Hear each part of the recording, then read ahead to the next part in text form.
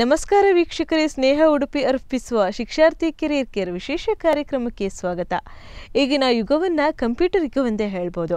ಈಗಿನ ಯುವ ಜನಾಂಗಕ್ಕೆ ಕಂಪ್ಯೂಟರ್ ಇಲ್ಲದೆ ಜೀವನನೇ ಇಲ್ಲ. ಅನ್ನುವಷ್ಟರ ಮಟ್ಟಿಗೆ ಕಂಪ್ಯೂಟರ್ ತಂತ್ರಜ್ಞಾನ ಎಲ್ಲರನ್ನ ಆವರಿಸಿದೆ. ಈ ಹಿನ್ನೆಲೆ ಅತಿ ಹೆಚ್ಚು ಬೇಡಿಕೆ ಇರುವ ಕಂಪ್ಯೂಟರ್ ಸೈನ್ಸ್ ಕೋರ್ಸ್ ಕುರಿತು ನಮ್ಮ ಜೊತೆ ಮಾತನಾಡಲಿದ್ದಾರೆ. B C H O D, lieutenant K Praveen Kumar, Saint Mary's college Shirva. Sir ನಿಮಗೆ ಕಾರ್ಯಕ್ರಮಕ್ಕೆ ಸ್ವಾಗತ. ಸ್ವಾಗತ ಮೇಡಮ್. ಸರ್ ಈಗ ಕಂಪ್ಯೂಟರ್ ಯುಗ ಅಂದರೆ ಅಂದರೆ ಕಂಪ್ಯೂಟರ್ಗೆ ಜಾಸ್ತಿ ಡಿಮ್ಯಾಂಡ್ ಇದೆ. ಇದು ಡಿಮ್ಯಾಂಡ್ ಇಷ್ಟೊಂದು ಡಿಮ್ಯಾಂಡ್ ಇರಲಿಕ್ಕೆ ಮೊದಲು ರೀಸನ್ ಏನು? ಇದಕ್ಕೆ ಡಿಮ್ಯಾಂಡ್ ಇರಲಿಕ್ಕೆ ರೀಸನ್ ಅಂತ ಹೇಳಿದರೆ ಸಾಕಷ್ಟುಗಳಿವೆ ಮೇಡಮ್. ಯಾಕೆಂತ ಹೇಳಿದರೆ ಪ್ರತಿನಿತ್ಯ ನಾವು ಬಳಸುವ ಸಾಧನೆಗಳಾಗಿರ್ಬೋದು ಎಕ್ವಿಪ್ಮೆಂಟ್ಸ್ ಏನು ಎಕ್ವಿಪ್ಮೆಂಟ್ಸ್ ಅಂತ ಹೇಳ್ತೀವೋ. ಸೊ ನಾವು ಡೇ ಟು ಡೇನಲ್ಲಿ ನಾವು ಅಬ್ಸರ್ವೇಷನ್ ಮಾಡಿದರೆ ಪ್ರತಿದಿನ ಸೈನ್ಸ್ ಆ್ಯಂಡ್ ಟೆಕ್ನಾಲಜಿ ಗ್ರೋತ್ ಆಗ್ತಾನೆ ಉಂಟು. ಇದರಿಂದ ಏನಾಗ್ತಾ ಉಂಟು ಅಂತ ಹೇಳಿದರೆ ಪ್ರತಿಯೊಬ್ಬ ಮನುಷ್ಯನಿಗೂ ಸೈನ್ಸ್ನ ಮೇಲೆ ಅಥವಾ ಯೂಸ್ ಮಾಡ್ತಿರುವ ವಸ್ತುವಿನ ಮೇಲೆ ಅದರ ಪ್ರಭಾವ ಬೀಳ್ತಾ ಉಂಟು.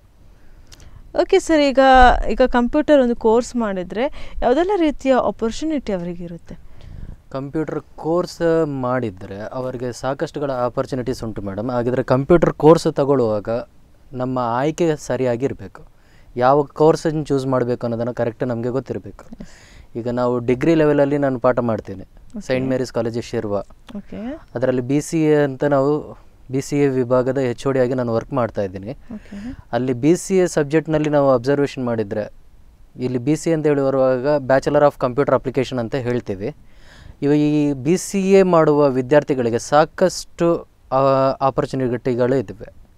ಈಗ ಆಪರ್ಚುನಿಟಿ ಅಂತ ಹೇಳುವಾಗ ಅವರಿಗೆ ಕ ಕಂಪನಿಯಲ್ಲಿ ಡೆವಲಪರ್ ಆಗಿ ಆಪರ್ಚುನಿಟಿ ಸಿಗುತ್ತೆ ನೆಟ್ವರ್ಕ್ ಅಡ್ಮಿನಿಸ್ಟ್ರೇಟರ್ ಆಗಿ ಆಪರ್ಚುನಿಟಿ ಸಿಗುತ್ತೆ ಮತ್ತು ಸಾಫ್ಟ್ವೇರ್ ಇಂಜಿನಿಯರ್ ಆಗಿ ಆಪರ್ಚುನಿಟಿ ಸಿಗುತ್ತೆ. ಇದು ಯಾವುದೂ ಬೇಡ ಅಂತ ಹೇಳ್ಕೊಳ್ಳುವವರಿಗೆ ಅವರಿಗೆ ಹೈಯರ್ ಜಾಬ್ಗೆ ಹೈಯರ್ ಜಾಬ್ಗೆ ಹೋಗ್ಬೋದು ಅಥವಾ ಹೈಯರ್ ಸ್ಟಡೀಸ್ಗೆ ಹೋಗ್ಬೋದು ಮೇಡಮ್. ಓಕೆ ಬಿ ಸಿ ಆದ ನಂತರ ಹೈಯರ್ ಸ್ಟಡೀಸ್ ಅಂತ ಹೇಳಿದರೆ ಯಾವ ರೀತಿ ಕೋರ್ಸ್ ಮಾಡ್ಬೋದು ನೆಕ್ಸ್ಟ್ ಈಗ ಬಿ ಸಿ ಆದ ನಂತರ ಮೊದಲು ನೋಡಿ ಮೂರು ವರ್ಷದ M C A course offer ಮಾಡ್ತಾ ಇತ್ತು. ಈಗ ಏನಾಯಿತು ಅಂತ ಹೇಳಿದ್ರೆ ಆಲ್ರೆಡಿ ಬಿ ಸಿ ಎದಲ್ಲಿ ಅಲ್ ಎಲ್ಲರಿಗೂ ಕಂಪ್ಯೂಟರ್ ಬಗ್ಗೆ ಅರಿವಿರುದ್ದ ಕಾರಣಕ್ಕಾಗಿ ಅವರಿಗೆ ಎರಡು ವರ್ಷದಲ್ಲೇ ಎಂ ಸಿ ಎ ಮಾಡುವ ಅವಕಾಶ ಇವತ್ತಿನ ರಾಜ್ಯ ಮತ್ತು ರಾಷ್ಟ್ರ ಸರ್ಕಾರಗಳ ಅವರಿಗೆ ಅನ್ವಯಿಸುವಂತೆ ಒಂದು ನಿಯಮ ಮಾಡಿದ್ದೇವೆ. ಓಕೆ ಸರ್ ಈಗ ಎಸ್ ಎಸ್ ಎಲ್ ಸಿ ಆದ ನಂತರ ಸ್ಟೂಡೆಂಟ್ಸ್ ಪಿ ಯು ಸಿ ಬೇಡ ಡಿಗ್ರಿ ಬೇಡ ಏನೂ ಬೇಡ, ನಮಗೆ ಜಸ್ಟ್ ಕಂಪ್ಯೂಟರ್ ಲೈಫಲ್ಲಿ ಈಗ ಕಂಪ್ಯೂಟರ್ ಯುಗ ಅಂತ ಹೇಳಿ ಜಾಸ್ತಿಯಾಗಿ ಕಂಪ್ಯೂಟರ್ ಕಲ್ತ್ರೆ ತುಂಬ ನಮಗೆ ಏನಾದರೂ ಒಳ್ಳೆ ಆಫರ್ ಸಿಗುತ್ತೆ ಅನ್ನೋ ಮೆಂಟಾಲಿಟಿ ಮಕ್ಕಳಲ್ಲಿ ಈಗ ಇದೆ. So S S L C ಆದ ನಂತರ ಅವರು ಡೈರೆಕ್ಟಾಗಿ ಕಂಪ್ಯೂಟರ್ ಕೋರ್ಸ್ ಮಾಡಲಿಕ್ಕೆ ಹೋಗ್ತಾರೆ. ಆ ರೀತಿ ಎಸ್ ಎಸ್ ಎಲ್ ಸಿ ಆದ ಬಳಿಕ ಯಾವ ರೀತಿಯೆಲ್ಲ ಕೋರ್ಸ್ ಮಾಡ್ಬೋದು ಕಂಪ್ಯೂಟರ್ ಹಾಂ ಮೇಡಮ್ ನೀವು ಹೇಳಿರುವ ಒಂದು ಒಳ್ಳೆಯ ಪ್ರಶ್ನೆ ಇತ್ತು. ಈಗ ಹತ್ತನೇ ಕ್ಲಾಸ್ ಆದ ನಂತರ ಇವತ್ತಿನ ಎಲ್ಲ ಯೋಜನೆಗಳಲ್ಲಿ ಆಸಕ್ತಿಗೆ ತುಂಬ ಕಡಿಮೆ ಆಗ್ತಾ ಉಂಟು. ಆದರೆ ಅವಕಾಶಗಳು ಜಾಸ್ತಿ ಇವೆ ಎಷ್ಟರ ಮಟ್ಟಿಗೆ ಅವಕಾಶಗಳೇ ಉಂಟು ಅಂತ ಹೇಳಿದರೆ ಈಗ ಇವತ್ತು ಯಾವುದೇ ಒಂದು ಜಾಬ್ ಬಂದ್ರೇನು ಸರ್ಕಾರ ಈಗ ಕಾಲೇಜಿಗೆ ತಲುಪಿಸುವ ಒಂದು ಕೆಲಸವನ್ನು ಮಾಡುತ್ತಿದೆ. ಅಂಥ ಒಂದು ಗಳ ಇದು ಇರುವಾಗ ಯಾವುದೇ ಒಂದು ವಿದ್ಯಾರ್ಥಿ ಹತ್ತನೇ ಕ್ಲಾಸ್ ಆದ ನಂತರ ಅವನು ಮುಂದೆ ನಾನು ಕಂಪ್ಯೂಟರ್ ಕೋರ್ಸ್ ಮಾಡಿ ಅವನು ಜೀವನವನ್ನು ಮಾಡಬೇಕಂತಿದ್ರೆ ಅವನಿಗೆ ಯಾವ ಫೀಲ್ಡಲ್ಲಿ ಆಸಕ್ತಿ ಉಂಟು ಅನ್ನೋದನ್ನು ನೋಡಬೇಕು ಕಂಪ್ಯೂಟರಲ್ಲಿ. ಈಗ ಕಂಪ್ಯೂಟರಲ್ಲಿ ಸಾಕಷ್ಟು ಕೋರ್ಸ್ ಉಂಟು ಅಂತ ಹೇಳಿದ್ದೀವಿ ಈಗ ಅವನು ಫೋಟೋಶಾಪ್ ಆಗ್ತಾನ. ಆ ಫೋಟೋಶಾಪ್ಗೆ ಸಂಬಂಧಪಟ್ಟ ಫೋಟೋಶಾಪ್ ಕೋರ್ಸ್ ಅವನಿಗೆ ಕಲಿಸಿ ಕಲಿಸಿರ್ಬೇಕು ಅವನಿಗೆ. ಇಲ್ಲ ಯಾವುದೇ ಒಂದು ಕಂಪನಿಯಲ್ಲಿ ವರ್ಕ್ ಮಾಡಬೇಕಂತಿದ್ದಾನ ಅಕೌಂಟೆಂಟ್ ಆಗಿ ವರ್ಕ್ ಮಾಡಬೇಕಂತಿದ್ದಾನ ಅವನಿಗೆ ಟ್ಯಾಲಿ ಬಗ್ಗೆ ಅರಿವಿರಬೇಕು. ಆದರೆ ಈಗ ಹತ್ತನೇ ಕ್ಲಾಸ್ನಲ್ಲಿ ಅವರಿಗೆ ಅಷ್ಟೊಂದು ಮೆಚೂರ್ ಮೈಂಡ್ ಇರಲ್ಲ. ಇದು ಪಿ ಯು ಸಿ ಆದ ಮಕ್ಕಳಿಗೆ ಆದರೆ ಸ್ವಲ್ಪ ಆಗ್ಲೂ ಅರಿವಿರುತ್ತೆ. ಓಕೆ ಸರ್ ಈಗ ಪಿ ಯು ಸಿ ಆದ ನಂತರ ಯಾವುದೆಲ್ಲ ರೀತಿಯ ಕೋರ್ಸ್ಗಳಿವೆ ಕಂಪ್ಯೂಟ್ರಲ್ಲಿ P U C B C A ಬಿಟ್ಟರೆ ಈಗ direct B C P U C ಆದ ನಂತರ ಡಿಗ್ರಿ ಅಂದರೆ ಬಿ ಸಿ ಎ ಅಂತ ಮಾಡ್ತಾರೆ. ಬಿ ಸಿ ಎ ಬಿಟ್ಟರೆ ಪಿ ಯು ಸಿ ಆದ ನಂತರ ಯಾವ ರೀತಿಯೆಲ್ಲ ಕೋರ್ಸ್ ಇರುತ್ತೆ? ಈಗ ನೋಡಿ ಪಿ ಯು ಸಿಯಲ್ಲಿ ಬಿ ಸಿ ಡಿಗ್ರಿಯಲ್ಲಿ ಬಿ ಸಿ ಎನೇ ತಗೊಳ್ಬೇಕಾಗಿಲ್ಲ. B S B C A ಬಿಟ್ಟು B S C computer science ಉಂಟು. ಅದು ಮಾತ್ರವೇ ಅಲ್ಲದೆ ಜನರಲ್ ಬಿ ಎಸ್ ಸಿ ಕೋರ್ಸ್ಗಳು ಇವೆ. ಇದರ ಜೊತೆಗೇನೂ ಅವರು ಹೊರಗಡೆ ಅವರ ಸಾಕಷ್ಟು ಸರ್ಟಿಫಿಕೇಟ್ ಕೋರ್ಸ್ ಮಾಡ್ಬೋದು. ಆ ಸರ್ಟಿಫಿಕೇಟ್ ಕೋರ್ಸ್ ಮಾಡಬೇಕಂತ ಹೇಳಿದರೆ ಅವರಿಗೆ ಪರಿಪೂರ್ಣ ಜ್ಞಾನ ಇರಬೇಕು. ಈಗ ನಾವು ಹೇಳ್ತೀವಿ ಇಷ್ಟೊಂದು ಸಂಬಳ ಕೊಡ್ತಾರೆ ನೀವು ಇದನ್ನು ಮಾಡ್ಕೊಂಡು ಬರಬೇಕು ಅಂತ ನಾವು ಹೇಳುವಾಗ ಅದರ ಬಗ್ಗೆ ಅವರಿಗೆ ಅರಿವು ಇರಬೇಕು. ಇದನ್ನು ಹೇಗೆ ಕಲಿಯೋದು ಹೇಗೆ ಕಲಿತಿದ್ರೆ ನಮಗೆ ಒಳಿತ ಆಗುತ್ತೆ ಅನ್ನುವ ಆಲೋಚನೆ ಇದ್ದರೆ ಮಾತ್ರವೇ ಅದರಲ್ಲಿ ಮುಂದುವರಿಲಿಕ್ಕೆ ಆಗುತ್ತೆ. ಇಲ್ಲದೇ ಇದ್ದರೆ ಆಗೋದಿಲ್ಲ. ಸರ್ಟಿಫಿಕೇಟ್ ಕೋರ್ಸ್ ಯಾವುದೆಲ್ಲ ಇರುತ್ತೆ ಈಗ ಸರ್ಟಿಫಿಕೇಟ್ ಕೋರ್ಸ್ ಅಂತ ಹೇಳಿದರೆ ನೋಡಿ ಇದು ಡಿಗ್ರಿಯ ಡಿಗ್ರಿಯಲ್ಲಿ ಸೇರುವಾಗ ಬಿ ಸಿ ಎ ಅಥವಾ ಬಿ ಎಸ್ ಸಿ ಸೇರುವಾಗ ಅಥವಾ ಇಂಜಿನಿಯರಿಂಗ್ ಸ್ಟ್ರೀಮ್ ಸೇರುವಾಗಲೇ ಇವತ್ತು ನಾವು ಬಿ ಸಿ ಎ ಕಂಪ್ಯೂಟರ್ ಗ್ರ್ಯಾಜುಯೇಟ್ಗಳಿಗೆ ಸಾಕಷ್ಟು ಅವಕಾಶಗಳು ಉಂಟು ಅಂತ ಹೇಳ್ತಾ ಇದ್ವಿ. ಸಾಕಷ್ಟು ಅವಕಾಶಗಳು ಇರುವಾಗ ಇವತ್ತು ಯಾವ ಹೊಸ ತಂತ್ರಜ್ಞಾನ ಬಳಸ್ತಾ ಇದ್ದೀವೋ ಅದರ ಸರ್ಟಿಫಿಕೇಟ್ ಕೋರ್ಸ್ ಮಾಡೋದು ನಾವು ಉತ್ತಮದು ಅಂತ ಹೇಳೋದು ಈಗ ನಾವು ಕಂ ಬಿ ಸಿ ಅಂತಲೇ ತಗೊಳ್ಳುವಾಗ ಈಗ ಕರೆಂಟಾಗಿ ರೋಬೋಟಿಕ್ಸ್ ತುಂಬ ಇದರಲ್ಲಿ ಉಂಟು. ಆದರೆ ಅದರಲ್ಲಿ ಆ ಸರ್ಟಿಫಿಕೇಟ್ ನಾವು ಪಡಿಬೇಕಾಗಿದ್ದರೆ ಒಂದೂವರೆ ಲಕ್ಷ ಆಗುತ್ತೆ. ಓಕೆ ಸರ್ ಅದರಲ್ಲಿ ನಾವು ಸರ್ಟಿಫಿಕೇಟ್ ಕೋರ್ಸ್ ಮಾಡಬೇಕಾಗಿದ್ರೇ ಒಂದೂವರೆ ಲಕ್ಷ ಆಗುತ್ತೆ. ಇದು ಓನ್ಲಿ ಬೆಂಗಳೂರು ಅಂತ ಮಹಾನಗರದಲ್ಲಿ ಮಾತ್ರವೇ ಲಭ್ಯವಾಗ್ತಾ ಉಂಟು. ಇಲ್ಲ ನಮಗೆ ರೋಬೋಟಿಕ್ಸ್ ಬಗ್ಗೆ ಒಳ್ಳೆಯ ಆಸಕ್ತಿ ಉಂಟು. ನಾನು ಏನೇ ಒಂದು ಮಾಡಬಲ್ಲೆ ಅಂತ ಹೇಳಿದರೆ ನಾವು ಇವತ್ತು ಮಾಧ್ಯಮಗಳಲ್ಲಿ ನಾವು ಅದನ್ನು ನೋಡಕ್ಕೆ ಕಲಿತಬಹುದು. ಓಕೆ ಸರ್ ಈಗ ನೆಕ್ಸ್ಟ್ ಈಗ ಒಂದು ಕಂಪ್ಯೂಟರ್ ಕೋರ್ಸ್ ಮಾಡಿದರೆ ಅವರಿಗೆ ಎನಿಸ್ಬೋದು ಫ್ಯೂಚರಲ್ಲಿ ನಮಗೆ ಒಳ್ಳೆ ಸ್ಯಾಲ್ರಿ ಸಿಗ್ಬೋದಾ? ಇಷ್ಟು ಸ್ಯಾಲ್ರಿ ಇರ್ಬೋದು ಅನ್ನೋ ಮೆಂಟಾಲಿಟಿ ಇರುತ್ತೆ. ಮಾಡ್ಬೋದಾ? ಮಾಡಿದರೆ ಒಳ್ಳೆಯದಾ ಅಂತ ಒಂದು ಕ್ವಶನ್ ಮಾರ್ಕ್ ಸ್ಟೂಡೆಂಟ್ಸಲ್ಲಿ ಇರುತ್ತೆ. ಹಾಗೆ ಸ್ಯಾಲ್ರಿ ಪ್ಯಾಕೇಜ್ ಯಾವ ರೀತಿ ಇರುತ್ತೆ? ಸ್ಯಾಲ್ರಿ ಪ್ಯಾಕೇಜ್ ಅಂತ ಹೇಳಿದರೆ ಮೇಡಮ್ ಅವರು ಮಾಡುವ ಸರ್ಟಿಫಿಕೇಟ್ನ ಮೇಲೆ ಡಿಪೆಂಡ್ ಆಗಿರುತ್ತೆ. ಈಗ ನಾವೇನು ರೋಬೋಟಿಕ್ಸ್ ಅಂತ ಹೇಳಿದ್ವಿ ಅವರು. ಒಂದೂವರೆ ಲಕ್ಷ ಬೇಸ್ ಮಾಡುವಾಗ ಅವ್ರಿಗೆ ಮೂರು ಲಕ್ಷ ಸಹ ಸಂಬಳ ಸಿಗ್ಬೋದು. ತಿಂಗಳಿಗೆ ಮೂರು ಲಕ್ಷ ಸಿಗ್ಬೋದು. ಈಗ ಕಂಪ್ಯೂಟರ್ ಗ್ರಾಫಿಕ್ಸ್ ನಾವು ಬಾಹುಬಲಿ ಅಂತ ಸಿನಿಮಾಗಳೆಲ್ಲ ನೋಡ್ತಾ ಇದ್ವಿ. ಇಂಥ ಗ್ರಾಫಿಕ್ ಡಿಸೈನರ್ ಕೋರ್ಸ್ ನಾವು ಮಾಡಿದ್ವಿ ಅಂತ ಅನ್ಕೊಳ್ಳಿ ಅವರಿಗಿನ ತಿಂಗಳಲ್ಲಿ ಸಾಕಷ್ಟು ಗಳಿಕೆ ಮಾಡುವ ಅವಕಾಶಗಳಿವೆ. ಸೊ ಅದನ್ನು ನಾವು ಹೇಳಲಿಕ್ಕೆ ಆಗಲ್ಲ. ನಮಗೆ ಚಿಕ್ಕದು ಬೇಕಂತ ಹೇಳಿದರೆ ಚಿಕ್ಕ ಕೋರ್ಸ್ ಮಾಡ್ಕೊಳ್ಬೋದು ದೊಡ್ಡ ಸ್ಯಾಲ್ರಿ ಬೇಕಂತ ಹೇಳಿದರೆ ದೊಡ್ಡದನ್ನು ನಾವು ಮಾಡ್ಬೋದು. ಓಕೆ ಸರ್ ಈಗ ಗ್ರಾಫಿಕ್ಸ್ ಬಗ್ಗೆ ಎಲ್ಲ ಹೆಚ್ಚಿನ ಜನರಿಗೆ ಅದರ ಬಗ್ಗೆ ಮಾಹಿತಿ ಇರಲ್ಲ. ಗ್ರಾಫಿಕ್ಸ್ ಅಂದರೆ ಏನು? ರಾಬೋಟಿಕ್ಸ್ ಅಂದರೆ ಏನು? ಇದನ್ನೆಲ್ಲ ಅವರಿಗೆ ಗೊತ್ತಿರಲ್ಲ. ಅದರ ಬಗ್ಗೆ ಸ್ವಲ್ಪ ಹೇಳ್ತೀರಾ? ಗ್ರಾಫಿಕ್ಸ್ ಅಂತ ಹೇಳುವಾಗ ನಾವು ಕಂಪ್ಯೂಟರ್ ಈಗ ನೋಡಿ ಮೇಡಮ್ ಇವತ್ತು ಗ್ರಾಫಿಕ್ಸ್ ಅಂತ ನಾವು ಸಿಂಪಲ್ ಉದಾಹರಣೆ ಕೊಡಬೇಕಾಗಿದ್ರೆ ಎಲ್ಲರೂ ಇವತ್ತು ಸ್ಮಾರ್ಟ್ಫೋನ್ ಬಳಸ್ತಾ ಇದ್ದಾರೆ. ಆ ಬಳಕೆಯಲ್ಲಿ ನಮಗೆ ನಾವು ಏನೋ ಒಂದು ಸೆಟ್ಟಿಂಗ್ ನಮಗೆ ಗೊತ್ತಿಲ್ಲದೇ ನಾವು ಏನೋ ಒಂದು ಟಚ್ ಮಾಡ್ತಾ ಇರುವಾಗ ಏನೋ ಒಂದು ಆ್ಯಕ್ಟಿವಿಟಿ ಆಗ್ತಾ ಇರುತ್ತೆ. ಆ ಆ್ಯಕ್ಟಿವಿಟಿ ಆಗಲಿಕ್ಕೆ ಕಾರಣವೇನಂತ ಹೇಳಿದರೆ ಹಿಂದೆ ಒಂದು ರೋಬೋಟಿಕ್ ಕೋಡ್ ಅನ್ನೋದನ್ನು ಇರುತ್ತೆ. ಅದನ್ನು ನಾವು ಕಲಿಬೇಕಾಗುತ್ತದೆ. ಇವತ್ತು ನೋಡಿ ಯಾರೇ ಹೋಗಲಿ ಈಗ ಎ ಬ್ಯಾಂಕಲ್ಲಿ ಹೋಗಿದ್ರೆ ಎ ಟಿ ಎಮ್ನ ಬಳಸ್ತಾರೆ. ಎ ಟಿ ಎಮ್ನಲ್ಲಿ ನೀವು ಪ್ರೆಸ್ ಮಾಡಿದ ಕೂಡಲೇ ಒಂದು ವಾಯ್ಸ್ ಬರುತ್ತೆ. ಓಕೆ. ಇದು ಗ್ರಾಫಿಕ್ಸ್ ಅಂತ ಹೇಳಲ್ಲ ರೋಬೋಟಿಕ್ಸ್ ಬಗ್ಗೆ ನಾವು ಹೇಳ್ತಾ ಇದ್ವಿ. ಇಲ್ಲಿ ವಾಯ್ಸ್ ಬರ್ತಾ ಉಂಟು ನಿಮ್ಮ ಸಂಖ್ಯೆಯನ್ನು ನೊತ್ತಿ ಅಂತ ಹೇಳಿ ಬರ್ತಾ ಉಂಟು. ಇದರಿಂದ ನಮ್ಗೆ ಏನಾಗ್ತಾ ಉಂಟು ಅಂತ ಹೇಳಿದರೆ ಏನೋ ಒಂದು ಹೊಸ ಜ್ಞಾನ ನಾವು ಪಡಿತಾ ಇದ್ವಿ. ಇಲ್ಲಿ ಹೊಸ ಜ್ಞಾನ ಪಡಿಬೇಕಾಗಿದ್ರೆ ನಮ್ಮಲ್ಲಿ ಬೇಸಿಕ್ ನಾಲೆಡ್ಜ್ ಭಾಳಷ್ಟು ಬೇಕಾಗುತ್ತೆ ಮೇಡಮ್. ಸರ್ ನೀವೀಗ ಬಿ ಸಿ ಎ ಬಗ್ಗೆ ಜಾಸ್ತಿಯಾಗಿ ಹೇಳಿದ್ರಾ? ಈಗ ಬಿ ಸಿ ಎ ಕೋರ್ಸ್ ಆದ ನಂತರ ಯಾವ ರೀತಿ ಆಪರ್ಚುನಿಟೀಸ್ ಸಿಗುತ್ತೆ? ಬಿ ಸಿ ಎ ಕೋರ್ಸ್ ಆದ ನಂತರ ಅವರಿಗೆ ಸಾಕಷ್ಟು ಜಾಬ್ ಆಪರ್ಚುನಿಟೀಸ್ ಉಂಟು ಅಂತ ಹೇಳ್ತಾ ಇದ್ವಿ ಮೇಡಮ್. ಆ ಜಾಬ್ ಆಪರ್ಚುನಿಟೀಸ್ ಪಡಿಬೇಕಾಗಿದ್ದರೆ ಅವರಲ್ಲಿ ಬಿ ಸಿ ಎದಲ್ಲಿ ಸಂಪೂರ್ಣ ಜ್ಞಾನವನ್ನು ಪಡೆದಿರಬೇಕು ಅಂತ ಹೇಳ್ತಾ ಇದ್ವಿ. ಇಲ್ಲಿ ಬಿ ಸಿ ಎ ಬರುವಾಗ ಮೂರು ವರ್ಷ ಅಂತ ಹೇಳ್ತಾ ಇದ್ವಿ. ಮೂರು ವರ್ಷದಲ್ಲಿ ಅವರು ಸಾಕಷ್ಟು ಸಬ್ಜೆಕ್ಟ್ನ ಕಲಿತಾರೆ. ಈಗ ನಾವು ಹೊಸ ತಂತ್ರಜ್ಞಾನ ಏನು ಬರ್ತಾ ಉಂಟು ಅದನ್ನು ನಾವು ಕಲಿಸಲೇಬೇಕು. ಈಗ ನಾವು ಇನ್ನೂ ಹಳೆ ಸಿಲೆಬಸ್ಸಲ್ಲೇ ಇದ್ದೀವಿ. ಈಗ ಬರುವ ವರ್ಷದಿಂದ ಯಾವುದೆಲ್ಲ ಹೊಸ ತಂತ್ರಜ್ಞಾನ ಉಂಟು ಯಾವುದೆಲ್ಲ ಇಂಡಸ್ಟ್ರಿ ಕೇಳ್ತಾ ಉಂಟು ಉದಾಹರಣೆಗೆ ನೋಡಿ ಪೈಥಾನ್ ಅಂತ ಇವತ್ತು ಲೇಟೆಸ್ಟ್ ಟೆಕ್ನಾಲಜಿ ಇರೋದು. ಪೈಥಾನಿಂದ ನಾವೇನು ಮಾಡ್ಬೋದು ಅಂತ ಹೇಳಿದರೆ ನಾವು ಹೇಳ್ತಿರುವ ರೋಬೋಟಿಕ್ಸ್ ಅಂಥದ್ದನ್ನೆಲ್ಲ ನಾವು ಡಿಫೈನ್ ಮಾಡ್ಬೋದು. ಇವತ್ತು ನಾವು ಸ್ಮಾರ್ಟ್ಫೋನ್ ಬಳಸ್ತಾ ಇದ್ವಿ ಆ್ಯಂಡ್ರಾಯ್ಡ್ ಅನ್ನುವ ಆಪ್ರೇಟಿಂಗ್ ಸಿಸ್ಟಮ್ನ ನಾವು ಯೂಸ್ ಮಾಡ್ತಾ ಇದ್ವಿ ಇಂಥದ್ದೆಲ್ಲ ಜಾವಾ ಅನ್ನುವ ಪ್ರೋಗ್ರಾಮಿಂಗ್ ಲ್ಯಾಂಗ್ವೇಜ್ ಬೇಕು. ಯಾಕೆ ಬೇಕು ಅಂತ ಹೇಳಿದರೆ ನಾವು ಯೂಸ್ ಮಾಡ್ತಿರುವ ಯಾವುದೇ ಒಂದು ಕಂಪ್ಯೂಟರ್ ಒಂದು ಹಾರ್ಡ್ವೇರ್ ಡಿವೈಸಸ್ಗೆ ನಾವು ಯೂಸ್ ಮಾಡ್ತಾ ಇರ್ತೀವಿ. ಆ ಹಾರ್ಡ್ವೇರ್ ಡಿವೈಸಸ್ನ ಯೂಸ್ ಮಾಡಿ ನಾವು ವರ್ಕ್ ಮಾಡಬೇಕಂತ ಹೇಳಿದರೆ ಅದಕ್ಕೆ ಹಾರ್ಡ್ವೇರ್ ಹೇಗೆ ವರ್ಕ್ ಆಗಬೇಕು ಅನ್ನುವ ಪ್ರೋಗ್ರಾಮಿಂಗ್ ಕೆಪಾಸಿಟಿ ನಾವು ಕೊಡಲೇಬೇಕು. ಓಕೆ ಈಗ ಬಿ ಸಿ ಎ ಕೋರ್ಸ್ ತಗೊಳ್ಳುವ ಮಕ್ಕಳಿಗೆ ಯಾವ ರೀತಿಯ ಇಂಟ್ರೆಸ್ಟ್ ಯಾವ ರೀತಿ ಅವರು ತಯಾರಿ ಮಾಡಬೇಕಾಗುತ್ತೆ? ನೋಡಿ ತಯಾರಿ ಅಂತ ಹೇಳುವಾಗ ಮೊದಲನೇದು ಅವರು ಹೆಚ್ಚಿನ ಆಸಕ್ತಿ ತೋರಿಸ್ಬೇಕು. ಓಕೆ ಈಗ ನಮ್ಮಲ್ಲಿ ನಾವೇ ಒಂದು ಉದಾಹರಣೆ ಹೇಳ್ತೀವಿ ನೋಡಿ.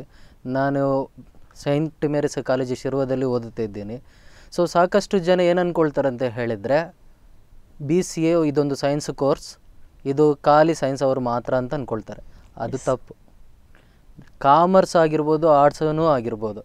ನಮ್ಮಲ್ಲಿ ಸಾಕಷ್ಟು ಆರ್ಟ್ಸ್ ಮತ್ತು ಕಾಮರ್ಸ್ ಗ್ರ್ಯಾಜುಯೇಟ್ಸ್ ಪಿ ಯು ಸಿನಲ್ಲಿ ಕಾಮರ್ಸ್ ಮತ್ತು ಆರ್ಟ್ಸ್ ತೊಗೊಂಡಿದ್ದವರು. ಎಲ್ಲ ಡಿಗ್ರಿಯಲ್ಲಿ ಬರುವಾಗ ಬಿ ಸಿ ಎ ತೊಗೊಂಡಿದ್ದಾರೆ. ಒಳ್ಳೆ ಒಳ್ಳೆ ರ್ಯಾಂಕ್ ಪಡೆದಿದ್ದಾರೆ ಒಳ್ಳೆ ಒಳ್ಳೆ ಜಾಬ್ ಆಪರ್ಚುನಿಟೀಸ್ ಪಡೆದಿದ್ದಾರೆ. ಇವತ್ತು Wipro Infosys T C S ಇಂಥ ಒಂದು ಪ್ರತಿಷ್ಠಾತ್ಮಕ ಕಂಪನಿಯಲ್ಲಿ ಕೆಲಸ ಮಾಡ್ತಿದ್ದಾರೆ. ಈಗ ಬಿ ಸಿ ಎ ಕೋರ್ಸ್ನಲ್ಲಿ ಆ ಜಾಬ್ ಆಪರ್ಚುನಿಟೀಸ್ ಅಂತ ನಾವು ಹೇಳುವಾಗ ನೋಡಿ ವಿಪ್ರೋ ಅನ್ನುವ ಒಂದು ಕಂಪನಿ ಓಕೆ ಈ ವಿಪ್ರೋ ಕಂಪನಿ ಎಲ್ಲರಿಗೂ ಅರಿವು ಉಂಟು ಈ ಬಿ ಸಿ ಎ ಗ್ರ್ಯಾಜುಯೇಟ್ಗಳನ್ನು ಏನು ಮಾಡ್ತಾರೆ ಅಂತ ಹೇಳಿದರೆ ಐದನೇ ಸೆಮಿಸ್ಟರ್ನಲ್ಲಿ ಇರುವಾಗ ಅವರನ್ನು ಕ್ಯಾಂಪಸ್ ಆಯ್ಕೆ ಮಾಡ್ತಾರೆ. ಈ ಕ್ಯಾಂಪಸ್ ಆಯ್ಕೆಯಲ್ಲಿ ಯಾರೆಲ್ಲ ಆಯ್ಕೆ ಆಗ್ತಾರೋ ಅವರನ್ನು ಎಂ ಎಸ್ ಪ್ರೋಗ್ರಾಮ್ ಈ ಎಂ ಎಸ್ ಪ್ರೋಗ್ರಾಮ್ ಅಂತ ಹೇಳಿದರೆ ಎಂ ಟೆಕ್ಗೆ ಈಕ್ವಲೆಂಟ್ ಆಗುತ್ತೆ. ಈ ಎಂ ಎಸ್ ಪ್ರೋಗ್ರಾಮ್ ನಾಲ್ಕು ವರ್ಷ ಮಾಡಲಿಕ್ಕೆ ಇರುತ್ತೆ. ಅವರೇ ಶನಿವಾರ ಮತ್ತು ಭಾನುವಾರ ಅವರೇ ರಿಜಿಸ್ಟ್ರೇಷನ್ ಇದೆಲ್ಲ ಪ್ರ ಫೆಸಿಲಿಟಿ ಎಲ್ಲ ಕೊಟ್ಟು ಅವರೇ ಮಾಡ್ತಾರೆ. ನಾವು ಇದನ್ನು ಈ ಎಂ ಎಸ್ ಕೋರ್ಸ್ ನಾವು ಹೊರಗಡೆ ಮಾಡಬೇಕಾಗಿದ್ರೆ ಎಂಟೂವರೆ ಲಕ್ಷ ಆಗುತ್ತೆ. ಇವರು ಜಾಬ್ ಕೊಟ್ಟುವ ಮೂಲಕ ಮಂಡೇ ಟು ಫ್ರೈಡೇ ಕೆಲಸ ಮಾಡಿಸ್ತಾರೆ. ಸೊ ನಿಮಗೆ ಕೆಲಸದ ಅನುಭವ ಬರ್ತಾ ಉಂಟು. ಶನಿವಾರ ಮತ್ತು ಭಾನುವಾರ ಇವರ ಹೈಯರ್ ಎಜುಕೇಷನ್ ನಂದು ಲಾಸ್ ಆಯಿತು ಅನ್ನುವ ಫೀಲಿಂಗ್ ಇಲ್ಲ. ಅವರೇ ಆಫರ್ ಮಾಡ್ತಾ ಇದ್ದಾರೆ. ಅಂತ ಒಂದು ಎಂ ಎಸ್ ಪ್ರೋಗ್ರಾಮ್ನ ಅವರು ಕೊಡ್ತಾ ಇದ್ದಾರೆ. ಇದರಿಂದ ಬಿ ಸಿ ಎ ಮಕ್ಕಳಿಗೆ ಸಾಕಷ್ಟು ಆಪರ್ಚುನಿಟಿ ಸಿಗ್ತಾ ಉಂಟು. ಅವರ ಎಜುಕೇಷನ್ ಲಾಸ್ ಆಯ್ತು ಅಂತಲೂ ಹೇಳಲಿಕ್ಕಿಲ್ಲ. ಅದೇ ರೀತಿಯಲ್ಲಿ ಅವರಿಗೆ ಸಂಪಾದನೆ ಮಿಸ್ ಆಯ್ತು ಅಂತಲೂ ಹೇಳಲಿಕ್ಕಿಲ್ಲ. ಯಾಕೆಂತ ಹೇಳಿದರೆ ನೋಡಿ ಈಗ ನಾಲ್ಕು ವರ್ಷ ಅಂತ ಹೇಳಿದ್ದೀವಿ. ನಾಲ್ಕು ವರ್ಷ ನೀವು ಆ ಕಂಪನಿ ಬಿಟ್ಟು ಹೋಗುವಂಗಿಲ್ಲ. ಪ್ರತಿ ವರ್ಷ ಅವರು ಸ್ಟೈಫಂಡ್ ಅಂತ ಕೊಡ್ತಾರೆ. ನೀವು ಕೆಲಸದ ಅನುಭವ ಸಿಗ್ತಾ ಉಂಟು. ಯಾವುದರ ಮೇಲೆ ನೀವು ವರ್ಕ್ ಮಾಡ್ತಾ ಇದ್ದೀರ ಅನ್ನುವ ಅನುಭವ ಸಿಗ್ತಾ ಉಂಟು. ಇಂಥದ್ದೆಲ್ಲ ಆಪರ್ಚುನಿಟಿ ಅವರಿಗೆ ಉಂಟು. ಇದೇ ರೀತಿಯಲ್ಲಿ ಗೂಗಲ್ ಅನ್ನುವ ಕಂಪನಿ ಉಂಟು. ಈ ಗೂಗಲ್ ಕಂಪನಿನಲ್ಲಿನೂ ನಾವು ಟ್ರೈ ಮಾಡ್ಬೋದು. ಆಲ್ರೆಡಿ ನಮ್ಮ ಒಬ್ಬ ವಿದ್ಯಾರ್ಥಿನಿ ಗೂಗಲ್ ಕಂಪನಿಯಲ್ಲಿ ವರ್ಕ್ ಮಾಡ್ತಾ ಇದ್ದಾಳೆ. ಓಕೆ ಸರ್ ಗೂಗಲ್ ಕಂಪನಿ ಅಂತ ಹೇಳಿದ್ರೆ ಗೂಗಲ್ ಕಂಪನಿಯಲ್ಲಿ ಯಾವ ರೀತಿಯ ಜಾಬ್ಸ್ ಆಪರ್ಚುನಿಟಿ ಇರುತ್ತೆ? ಅದ್ ಅದೇ ಮೇಡಮ್ ಯಾವ ಕೋರ್ಸ್ ಏರಿಯಾ ತಗೊಂಡಿದ್ವಿ ಅಂತ. ಅನ್ಕೊಳ್ಳಿ. ಈಗ ನಾವು ಹೇಳ್ತಾ ಇದ್ವಿ ನೆಟ್ವರ್ಕಿಂಗ್ ಅಂತ ಹೇಳ್ತೀವಿ. ಇವತ್ತು ಪ್ರತಿಯೊಬ್ಬರು ನೆಟ್ವರ್ಕಿಂಗ್ ಬಳಸ್ತಾನೆ ಇದ್ದಾರೆ. ಸೊ ನೆಟ್ವರ್ಕಿಂಗ್ ಸೈಡ್ನಲ್ಲಿ ಇದ್ದರೆ ನೆಟ್ವರ್ಕಿಂಗ್ ಸೈಡ್ನಲ್ಲಿ ಹೋಗ್ಬೋದು. ಅಥವಾ ಡಾಟಾನು ನಾವು ಸ್ಟೋರ್ ಮಾಡೋದಾಗಿದ್ದರೆ ಡಾಟಾ ಅಡ್ಮಿನಿಸ್ಟ್ರೇಟರ್ ಆಗಿರ್ಬೋದು. ಡಾಟಾಬೇಸ್ ಅಡ್ಮಿನಿಸ್ಟ್ರೇಟರ್ ಅಂತ ಹೇಳ್ತೀವಿ. ನೆಟ್ವರ್ಕ್ ಇಂಜಿನಿಯರ್ ಅಂತ ಹೇಳ್ತೀವಿ. ಅಥವಾ ಪ್ರೋಗ್ರಾಮರ್ ಅಂತ ಹೇಳ್ತೀವಿ. ಇದೆಲ್ಲ ಬರುವ ಬೇರೆ ಬೇರೆ ಡಿಸಿಗ್ನೇಷನ್ ಬೇರೆ ಬೇರೆ ಜಾಬಿನ ರೂಪ. ಓಕೆ ಓಕೆ ಸರ್ ಈಗ ಬಿ ಸಿ ಎಲ್ಲಿ ಯಾವ ಥರ ಎಷ್ಟು ಸಬ್ಜೆಕ್ಟ್ ಯಾವ ರೀತಿ ಇರುತ್ತೆ? ಅದು ಯಾವ ರೀತಿ ನೀವು ಟೀಚ್ ಮಾಡ್ತೀರಾ? ಬಿ ಸಿ ಎದಲ್ಲಿ ಸಬ್ಜೆಕ್ಟ್ ಅಂತ ಹೇಳುವಾಗ ಮೇಡಮ್ ನಮ್ಮ ಥೀರಿನೂ ಇರುತ್ತೆ ಪ್ರಾಕ್ಟಿಕಲ್ನೂ ಇರುತ್ತೆ. ಥೀರಿನಲ್ಲಿ ಪ್ರೋಗ್ರಾಮಿಂಗ್ ಪೇಪರ್ನೂ ಇರುತ್ತೆ. ಅದೇ ರೀತಿಯಲ್ಲಿ ಸ್ವಲ್ಪ ಕೆಲವೆಲ್ಲ ಡ್ರೈ ಸಬ್ಜೆಕ್ಟ್ನೂ ಇರುತ್ತೆ. ಆ ಡ್ರೈ ಸಬ್ಜೆಕ್ಟ್ಗೆ ಬರುವಾಗ ಕೆಲವು ವಿದ್ಯಾರ್ಥಿಗಳು ಸ್ವಲ್ಪ ಮಂಕ ಆಗ್ತಾರೆ. ಯಾಕೆಂತೇಳಿದರೆ ಅದು ಎಂತ ಓನ್ಲಿ ಥೀರಿ ಅಂತ ಹೇಳಿ. ಆದರೆ ಅದರ ಥೀರಿ ನಾವು ಕಲೀಲಿಲ್ಲ ಅಂತ ಹೇಳಿದರೆ ಇಲ್ಲಿ ನಾವು ಮಾಡುವ ಕೆಲಸವನ್ನು ನಾವು ಕರೆಕ್ಟಾಗಿ ಮಾಡಲಿಕ್ಕಾಗಲ್ಲ ಉದಾಹರಣೆಗೆ ನೋಡಿ ನಾವು ಇವತ್ತು ಡಾಟಾ ಮೈನಿಂಗ್ ಅನ್ನುವ ಸಬ್ಜೆಕ್ಟ್ ಅಂತ ಹೇಳ್ತೀವಿ. ಆ ಡಾಟಾ ಮೈನಿಂಗ್ ಅನ್ನುವ ಸಬ್ಜೆಕ್ಟ್ ಏನು ಮಾಡುತ್ತೆ ಅಂತ ಹೇಳಿದರೆ ನಾವೆಲ್ಲ ಸ್ಟ್ಯಾಟಿಸ್ಟಿಕಲ್ ರಿಪೋರ್ಟ್ನ ಕಲೆಕ್ಟ್ ಮಾಡಲಿಕ್ಕೆ ಇರುತ್ತೆ. ಯಾರು ಎಷ್ಟು ಬಳಸ್ತಾ ಇದ್ದಾರೆ ಯಾರು ಎಷ್ಟು ನೆಟ್ವರ್ಕ್ ಯೂಸ್ ಮಾಡ್ತಾ ಇದ್ದಾರೆ ಯಾರು ಹೇಗೆ ಇದನ್ನು ಮಾಡ್ತಾ ಇದ್ದಾರೆ ಹೇಗೆ ಡೇಟಾ ಕ್ರಿಯೇಟ್ ಆಗ್ತಾ ಉಂಟು ಹೇಗೆ ನಾನು ಡೇಟಾವನ್ನು ಸ್ಟೋರ್ ಮಾಡಬೇಕು ಇಂಥದ್ದೆಲ್ಲ ಆಪರ್ಚುನಿಟಿ ಉಂಟು. ಆದರೆ ಅದೊಂದು ಸ್ವಲ್ಪ ಟಫ್ ಸಬ್ಜೆಕ್ಟ್ ಆಗಿರ್ಬೋದು. ಈ ಮಕ್ಕಳಲ್ಲಿ ಅಷ್ಟೊಂದು ಅರ್ಥ ಮಾಡ್ಕೊಳ್ಳುವ ಕೆಪಾಸಿಟಿ ಇರೋದಿಲ್ಲ ಇವತ್ತು ನಾವು ಹೇಳುವ ಆರ್ಟಿಫಿಷಿಯಲ್ ಇಂಟೆಲಿಜೆನ್ಸ್ ಅಂತ ಹೇಳ್ತೀವಿ. ಇಂಥ ಆರ್ಟಿಫಿಷಿಯಲ್ ಇಂಟೆಲಿಜೆನ್ಸ್ ಎಲ್ಲ ನಾವು ರೋಬೋಟಿಕ್ಸ್ನಲ್ಲಿ ಯೂಸ್ ಮಾಡ್ತೀವಿ. ಇಲ್ಲಿ ಬರೋದನ್ನೆಲ್ಲ ಅವರು ಸ್ವಲ್ಪ ಅರ್ಥ ಮಾಡ್ಕೊಳ್ಳೋದ್ರಲ್ಲಿ ವಿಫಲರಾಗ್ತಾ ಇದ್ದಾರೆ.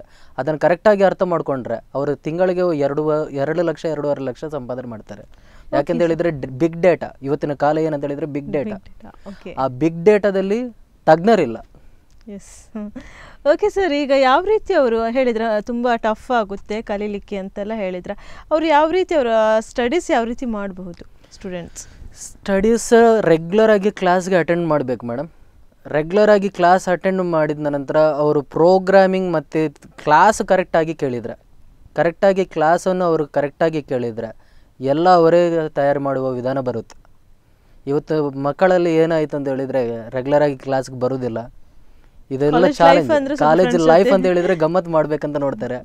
ಎಸ್ಪೆಷಲಿ ಸೈನ್ಸ್ ಕೋರ್ಸ್ ಅಲ್ಲಿ ಇದ್ದ ಮಕ್ಕಳು ಏನ್ ಮಾಡ್ತಾರೆ ಅಂತ ಹೇಳಿದ್ರೆ ನನ್ನ ದೋಸ್ತೆ ಆಗಿದ್ದಾನೆ. ನಮ್ಗೆ ಯಾವತ್ತು ಲ್ಯಾಬ್ನಲ್ಲಿ ಇದ್ದೀವಿ ಅಲ್ಲಿ ಇದ್ದೀವಿ. ಎಲ್ಲ ನಾವು ಇಲ್ಲೇ ಬಿದ್ದು ಅಂದ್ರೆ ಸ್ವಲ್ಪ ಬಿಸಿ ಲೈಫ್ ಅಂತ ಹೇಳ್ಬೋದು ಹೌದು ಬಿಸಿ ಲೈಫ್ ಕರೆಕ್ಟ್ ಆದ್ರೆ ಕಂಪ್ಯಾರಿಟಿವ್ ಮಾಡುವಾಗ ಮೇಡಮ್ ಜಾಬ್ ಅಂತ ಬರುವಾಗ ನಿಮ್ಮ ಕಾಮರ್ಸ್ ಗ್ರ್ಯಾಜುಯೇಟ್ಗಿಂತ ಕಂಪ್ಯೂಟರ್ ಗ್ರಾಜುಯೇಟ್ಸ್ ಅಥವಾ ಸೈನ್ಸ್ ಗ್ರಾಜುಯೇಟ್ಸ್ ಅವರಿಗೆ ಸಾಕಷ್ಟು ಆಪರ್ಚುನಿಟಿಗಳು ಬರುತ್ತವೆ. ಸರ್, ಈಗ ಪ್ಲೇಸ್ಮೆಂಟ್ ಆಯ್ಕೆ. ಪ್ಲೇಸ್ಮೆಂಟ್ ಆಯ್ಕೆ ಬಗ್ಗೆ ಸ್ವಲ್ಪ ಮಾಹಿತಿ ನೀಡ್ಬೋದಾ? ಯಾವ ರೀತಿ ತಯಾರಿ ನಡೆಸ್ಬೋದು ಓಕೆ ಮೇಡಮ್ ಈಗ ಪ್ಲೇಸ್ಮೆಂಟ್ ಅಂತ ಹೇಳ್ತಿರುವಾಗ ನೋಡಿ, ಬೇರೆ ಬೇರೆ ಪ್ಲೇಸ್ಮೆಂಟ್ ಬರ್ತಾ ಇರುತ್ತವೆ. ಒಂದೊಂದು ಕಂಪನಿ ಒಂದೊಂದನ್ನು ಕೇಳುತ್ತವೆ. ಸೊ ಅದರಲ್ಲಿ ಮೊದಲನೇ ಹಂತ ಏನು ಕೇಳ್ತಾರೆ ಅಂತ ಹೇಳಿದರೆ ಆ್ಯಪ್ಟಿಟ್ಯೂಡ್ ಟೆಸ್ಟ್ ಬಗ್ಗೆ ಕಂಪಲ್ಸರಿ ಕೇಳ್ತಾರೆ. ಈ ಆ್ಯಪ್ಟಿಟ್ಯೂಡ್ ಟೆಸ್ಟ್ ನೀವು ಯಾವುದೇ ಸೆಕ್ಟರ್ ತಗೊಳ್ಳಿ ಗೌರ್ಮೆಂಟ್ ಸೆಕ್ಟರ್ ತಗೊಳ್ಳಿ ಪ್ರೈವೇಟ್ ಸೆಕ್ಟರ್ ತಗೊಳ್ಳಿ, ಯಾವುದೇ ಸೆಕ್ಟರ್ ತಗೊಳ್ಳಿ. ನೀವು ಫಸ್ಟ್ ಫೇಸ್ನಲ್ಲಿ ನೀವು ಕ್ಲಿಯರ್ ಮಾಡಬೇಕಾಗಿರೋದು ಆ್ಯಪ್ಟಿಟ್ಯೂಡ್ ಟೆಸ್ಟ್ ಇದರಲ್ಲಿ ಸಿಂಪಲ್ ಮ್ಯಾಥಮೆಟಿಕ್ಸಿಂದ ಹಿಡಿದು ನಿಮ್ಮ ಸಿಂಪಲ್ ಇಂಟ್ರೆಸ್ಟ್ ಇರ್ಬೋದು ಕಾಂಪೌಂಡ್ ಇಂಟ್ರೆಸ್ಟ್ ಇರ್ಬೋದು ಪ್ರಾಫಿಟ್ ಲಾಸ್ ಇರ್ಬೋದು ಏಜ್ ಕ್ಯಾಲ್ಕುಲೇಷನ್ಸ್ ಇರ್ಬೋದು ಅದೇ ರೀತಿಯಲ್ಲಿ ಟೈಮ್ ಆ್ಯಂಡ್ ವರ್ಕ್ ಇರ್ಬೋದು ಟೈಮ್ ಆ್ಯಂಡ್ ಡಿಸ್ಟೆನ್ಸ್ ಇರ್ಬೋದು ಇದರ ಬಗ್ಗೆ ಕ್ವಶನ್ಸ್ಗಳೆಲ್ಲ ಬರ್ತಾ ಇರುತ್ತವೆ. ಇದಕ್ಕೆ ನಾವು ತಯಾರಿ ಮಾಡ್ಕೋಬೇಕಾಗುತ್ತದೆ. ಇದರಲ್ಲಿ ಮಾಡುವ ತಯಾರಿದಿಂದ ಏನಾಗುತ್ತೆ ಅಂತ ಹೇಳಿದರೆ ಯಾವುದೇ ಒಂದು ವಿದ್ಯಾರ್ಥಿ ಇಂಡಸ್ಟ್ರಿ ಸೈಡ್ನೂ ಹೋಗ್ಬೋದು ಅಥವಾ ಗೌರ್ಮೆಂಟ್ ಸೆಕ್ಟರ್ ಸೈಡ್ನೂ ಹೋಗ್ಬೋದು. ಇನ್ನು ಎರಡನೇ ಹಂತದರಲ್ಲಿ ಏನು ಮಾಡ್ತಾರೆ ಅಂತ ಹೇಳಿದರೆ ಕಂಪ್ಯೂಟರ್ ಗ್ರ್ಯಾಜುಯೇಟ್ಗಳಿಗೆ ಟೆಕ್ನಿಕಲ್ ರೌಂಡ್ ಅಂತ ಹೇಳ್ತಾರೆ. ಸೊ ನೀವು ಕಲಿಸಿರುವ, ನೀವು ಕಲ್ತಿರುವ ಸಬ್ಜೆಕ್ಟ್ಗಳು. ಆ ಸಬ್ಜೆಕ್ಟ್ನಲ್ಲಿ ನಿಮಗೆ ಎಷ್ಟು ಜ್ಞಾನ ಉಂಟು ಅನ್ನೋದನ್ನು ಅದರಲ್ಲಿ ಪರೀಕ್ಷಿಸಬಹುದು. ಈ ಪರೀಕ್ಷೆಯಲ್ಲಿ ನೀವು ಪರಿಪೂರ್ಣರಾದರೆ ಇನ್ನು ಮೂರನೇ ಹಂತದ್ದು ಹೆಚ್ ಆರ್ ರೌಂಡ್ ಅಂತ ಹೇಳ್ತೀವಿ. ಈ ಎಚ್ ಆರ್ ರೌಂಡ್ನಲ್ಲಿ ಅವರ ಬಗ್ಗೆ ಅವರು ಹೇಳಿಕೊಡುವ ಮಾಹಿತಿ ಅಂಥದ್ದೆಲ್ಲ ಕೊಡ್ತಾರೆ.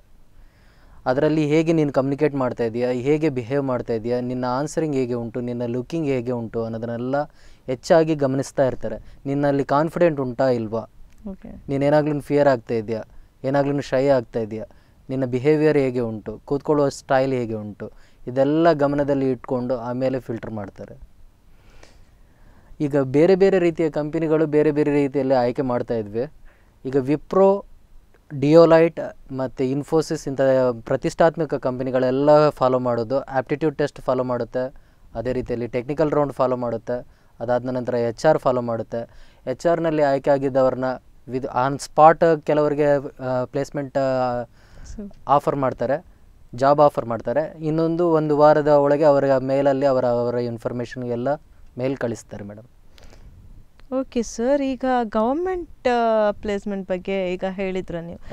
ಸರ್ ಈಗ ಕಂಪ್ಯೂಟರ್ ಸೈನ್ಸ್ ಮಾಡಿದ ನಂತರ ಗವರ್ಮೆಂಟಲ್ಲಿ ಯಾವ ರೀತಿಯ ಆಪರ್ಚುನಿಟಿ ಸಿಗುತ್ತೆ? ಒಳ್ಳೆ ಪ್ರಶ್ನೆ ಮೇಡಮ್ ಈಗ ನಾವು ಗೌರ್ಮೆಂಟ್ ಸೆಕ್ಟರ್ ಅಂತ ಹೇಳ್ತಿರುವಾಗ ಎಲ್ಲ ಕಡೆನೂ ನಾವು ನೋಡ್ತಾ ಇದ್ದೀವಿ. ಹೆಚ್ಚಾಗಿ ಗೌರ್ಮೆಂಟ್ನಲ್ಲಿ ಏನು ಬೇಕಾಗುತ್ತದೆ ಅಂತ ಹೇಳಿದರೆ ಡಾಟಾ ಎಂಟ್ರಿ ಆಪರೇಟರ್ಸ್ ಬೇಕಾಗ್ತಾರೆ. ಎಲ್ಲ ಏದೇ ಯಾವುದೇ ಒಂದು ಇನ್ಫಾರ್ಮೇಷನ್ ಬೇಕು ನಿಮ್ಮ ಸೆಕೆಂಡ್ ಲೋಯರ್ ಡಿವಿಷನ್ ಕ್ಲರ್ಕಿಂದ ಹಿಡಿದು ಅಪ್ಪರ್ ಡಿವಿಷನ್ ಕ್ಲರ್ಕಿಂದ ಹಿಡಿದು ಇಲ್ಲಿ ಎಲ್ಲ ಮಾಹಿತಿಯನ್ನು ನಾವು ಫೀಡ್ ಮಾಡಲೇಬೇಕು. ಫೀಡ್ ಮಾಡಬೇಕಾದ್ರೆ ಡಾಟಾ ಎಂಟ್ರಿ ಆಪರೇಟರ್ಸ್ ಬೇಕೇ ಬೇಕು. ಅದೇ ರೀತಿಯಲ್ಲಿ ಈಗ ನಾವು ಸ್ಟೋರ್ ಮಾಡಿರುವ ಡೇಟಾವನ್ನು ಯಾವುದೇ ಒಂದು ರಿಸ್ಕ್ ಆಗಬಾರ್ದು. ನಾವು ಬ್ಯಾಂಕ್ನಲ್ಲಿ ಯೂಸ್ ಮಾಡ್ತಾ ಇದ್ವಿ ಅಥವಾ ವೋಟಿಂಗ್ ಸಿಸ್ಟಮ್ನಲ್ಲಿ ಯೂಸ್ ಮಾಡ್ತಾ ಇದ್ವಿ. ಇಂಥದ್ದೆಲ್ಲ ಎಲ್ಲಿಗೇನೂ ಡೂಪ್ಲಿಕೇಟ್ ಆಗಬಾರ್ದು ಅಂತ ಹೇಳಿದರೆ ನೆಟ್ವರ್ಕ್ ಸಿಸ್ಟಮ್ ಅಡ್ಮಿನಿಸ್ಟ್ರೇಟರ್ ಇರ್ತಾರೆ, ಸೆಕ್ಯೂರಿಟಿ ಮ್ಯಾನೇಜರ್ಸ್ ಇರ್ತಂತ ಇರ್ತಾರೆ. ಬ್ಯಾಂಕಲ್ಲಿ ಸಾಕಷ್ಟು ಇಂಥ ರಿಸ್ಕ್ ಮ್ಯಾನೇಜ್ಮೆಂಟ್ ಆಫೀಸರ್ನ ಆಯ್ಕೆ ಮಾಡ್ತಾ ಇರ್ತಾರೆ ಮೇಡಮ್. ಓಕೆ ಸರ್ ಈಗ ಬ್ಯಾಂಕಲ್ಲೆಲ್ಲ ಯಾವ ರೀತಿಯ ಜಾಬ್ ಸಿಗುತ್ತೆ ಸರ್ ಕಂಪ್ಯೂಟರ್ ಇದು ಮಾಡಿದ್ರೆ? ಬ್ಯಾಂಕ್ ಅಂತ ಹೇಳುವಾಗ ಮೇಡಮ್ ಎಲ್ಲ ಜಾಬ್ಗೂ ಅವರು ಅರ್ಹರಾಗ್ತಾರೆ ಓಕೆ ಇನ್ನೂ ಅವರಿಗೆ ಅಡಿಷನಲ್ ಫೆಸಿಲಿಟಿ ಏನಂತ ಹೇಳಿದ್ರೆ ಇವರಿಗೆ ಅದರ ಬಗ್ಗೆ ಜ್ಞಾನ ಇದ್ದ ಕಾರಣಕ್ಕಾಗಿ ಖಾಲಿ ಕ್ಲರ್ಕಲ್ ಪೋಸ್ಟ್ ಅಥವಾ ಮ್ಯಾನೇಜರ್ ಪೋಸ್ಟ್ ಅಲ್ಲದೆ ಸಮ್ ಸ್ಪೆಷಲ್ ಗ್ರೇಡ್ ಆಫೀಸರ್ಸ್ ಅಂತಲೂ ಅವ್ರನ್ನ ಆಯ್ಕೆ ಮಾಡ್ತಾ ಇರ್ತಾರೆ ಮೇಡಮ್ ಓಕೆ ಸರ್ ಈಗಿನ ಕಾಲದಲ್ಲಿ ಜಾಸ್ತಿಯಾಗಿ ಡಾಟಾ ಅನಾಲಿಸ್ಟ್ಗೆ ಹೆಚ್ಚಿನ ಆಪರ್ಚುನಿಟಿ ಇದೆ ಅಂತ ಹೇಳ್ತಾರೆ. ಈ ಡಾಟಾ ಅನಾಲಿಸ್ಟ್ ಅಂದ್ರೆ ಏನು ಡೇಟಾ ಅನಾಲಿಸಿಸ್ಟ್ ಅಂತ ಹೇಳಿದರೆ ಮೀನಿಂಗ್ ಮೇಡಮ್ ಈಗ ನಾವು ಡೇಟಾವನ್ನು ಬಳಸ್ತಾ ಇದ್ವಿ ಓಕೆ ನಮ್ಮ ಫೇಸ್ಬುಕ್ಕಿಂದ ಡೇಟಾ ಬಳಸ್ತಾ ಇದ್ವಿ ಅಥವಾ ಬೇರೆ ಬೇರೆ ಮೂಲಕ ನಾವು ಡೇಟಾ ಬಳಸ್ತಾ ಇದ್ವಿ ಆ ಡೇಟಾ ಬಳಸುವಾಗ ಎಷ್ಟೆಷ್ಟು ನಾವು ಡೇಟಾವನ್ನು ಬಳ ಯೂಸ್ ಮಾಡ್ತಾ ಇದ್ವಿ ಇದನ್ನು ನಾವು ಟೆಸ್ಟ್ ಮಾಡ್ತಾನೆ ಇರಬೇಕು. ಇದು ನಮ್ಮಲ್ಲಿ ನಾರ್ಮಲ್ ಆಗಿ ಏನಾಗುತ್ತೆ ಅಂತ ಹೇಳಿದರೆ ಇಲ್ಲಿ ಬಿಸ್ನೆಸ್ ಸೈಟ್ಸ್ ಅಂತ ಹೇಳ್ತೀವಿ.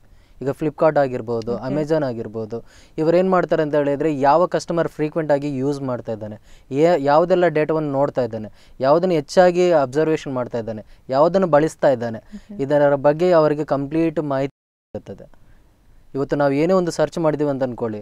ನಾಡ್ದು ನೆಕ್ಸ್ಟ್ ಡೇ ನೀವು ಸರ್ಚ್ ಮಾಡುವಾಗ ನಿಮ್ಮ ರಿಲೆವೆಂಟ್ ಆಗಿ ಫಸ್ಟ್ ಅದನ್ನು ತೋರಿಸುತ್ತೆ. ನಿನ್ನೆ ನೀವು ಇದನ್ನು ಸರ್ಚ್ ಮಾಡಿದರೆ ಈಗ ಇದನ್ನು ಬೇಕಾ ನಿಮಗೆ? ಅದರ ರಿಲೆವೆಂಟ್ ಪ್ರಾಡಕ್ಟ್ ಇಂಥದ್ದೆಲ್ಲ ಉಂಟು. ಅದಕ್ಕಿಂತ ಕಡಿಮೆ ಬೆಲೆಯಲ್ಲಿ ಬರ್ತಾ ಉಂಟು. ಇದೆಲ್ಲ ನಾವು ಅನಾಲಿಸಿಸ್ ಮಾಡಬೇಕಾಗತ್ತೆ. ಹೇಗೆ ಎಷ್ಟು ಎಷ್ಟು ಯೂಸ್ ಮಾಡ್ತಾ ಇದ್ವಿ, ಯಾವುದನ್ನು ನಾವು ನೋಡ್ತಾ ಇದ್ವಿ, ಯಾವುದನ್ನು ನಾವು ಬಳಸ್ತಾ ಇದ್ವಿ ಅಂತೇಳಿ.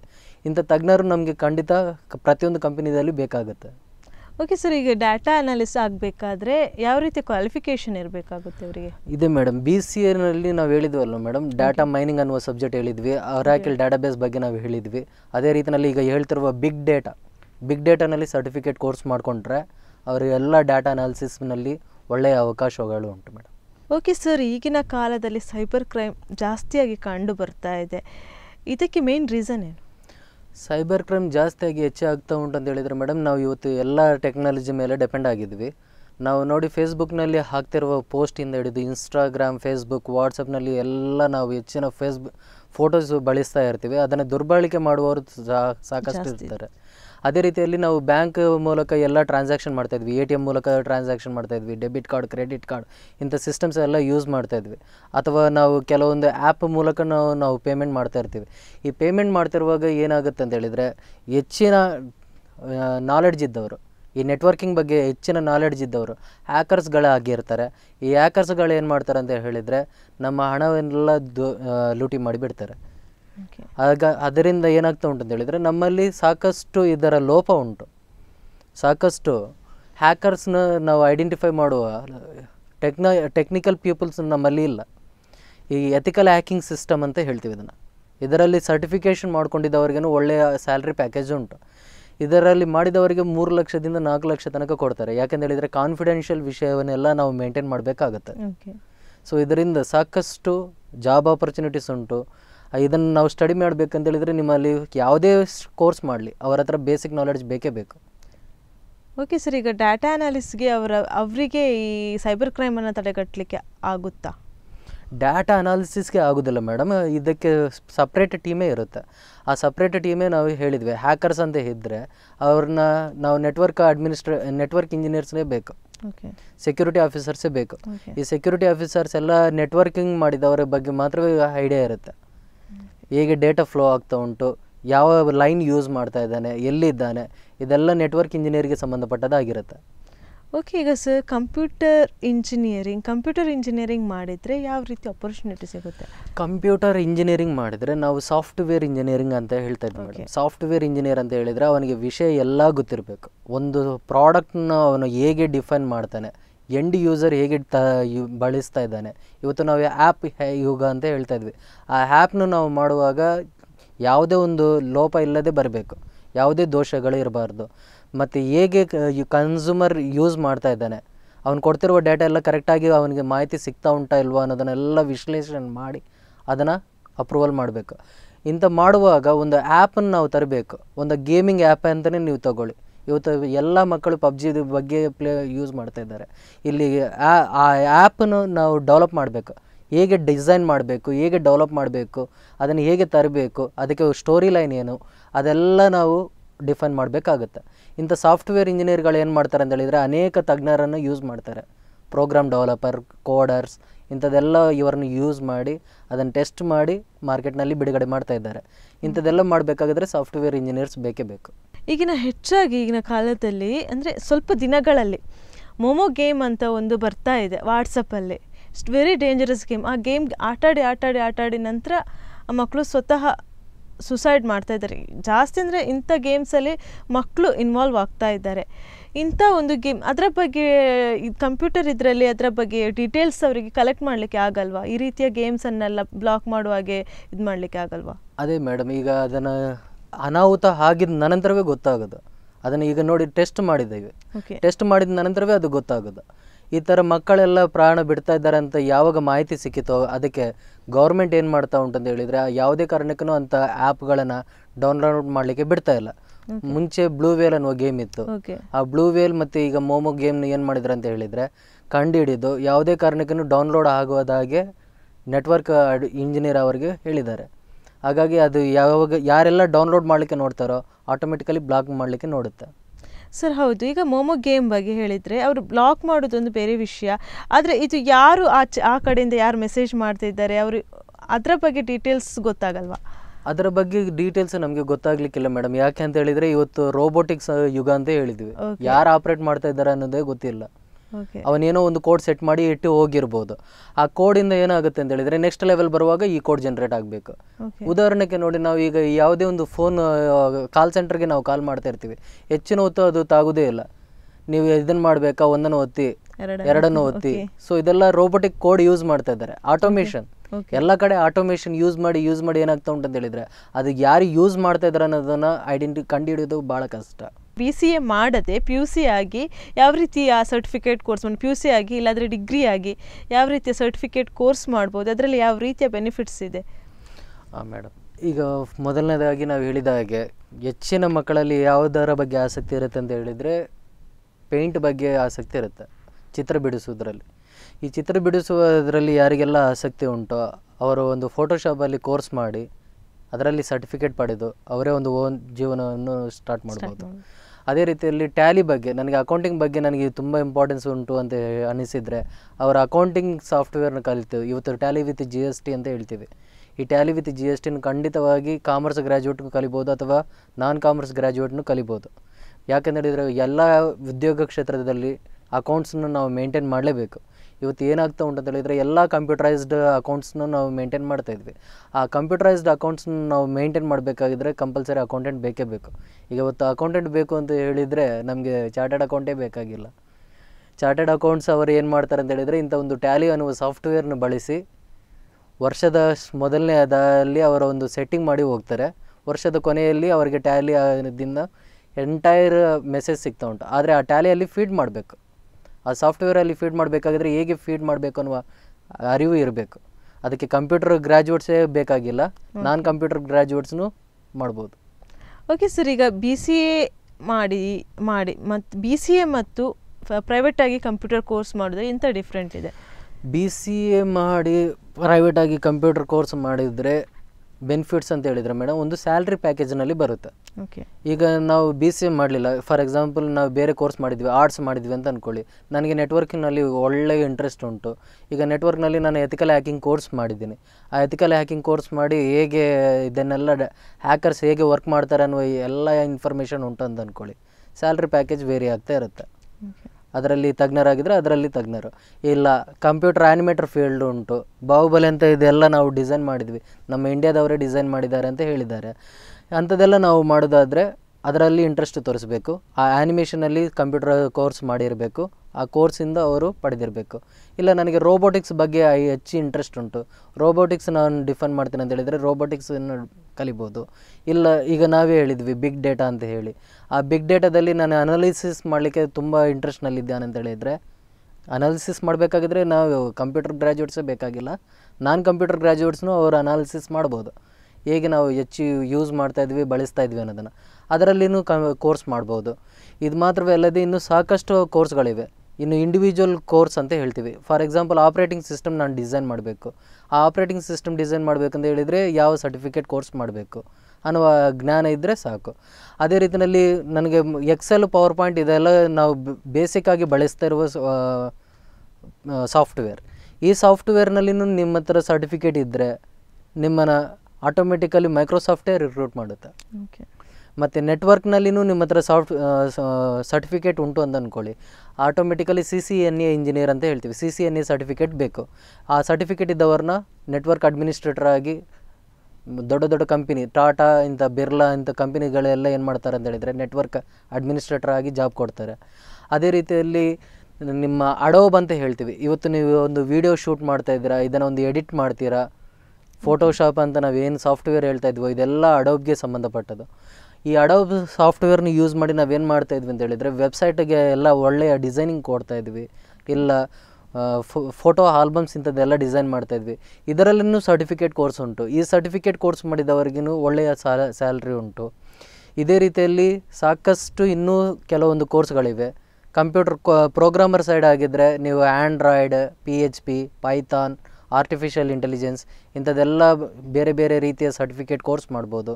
ಇಲ್ಲ ಡಿಸೈನಿಂಗ್ನಲ್ಲಿ ನಿಮಗೆ ಒಳ್ಳೆಯ ಇದು ಉಂಟು ಅಂತ ಹೇಳಿದರೆ ವೆಬ್ ಡಿಸೈನ್ ವೆಬ್ ಡಿಸೈನಲ್ಲಿ ವೆಬ್ ಡಿಸೈನರ್ ಆಗಿ ಹೋಗ್ಬೋದು.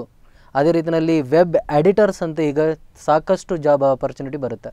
ಯಾಕೆಂತ ಹೇಳಿದರೆ ಯಾವುದೇ ಒಂದು ಲೋ, ದೋಷ ಇಲ್ಲದೆ ನಾವು ಅಲ್ಲಿ ಮ್ಯಾಟ್ರನ್ನು ನಾವು ಆಗಬೇಕು ಇಂಥ ವೆಬ್ ಎಡಿಟರ್ಸ್ಗೂ ನಿಮಗೆ ಸಾಕಷ್ಟು ಆಪರ್ಚುನಿಟಿ ಉಂಟು.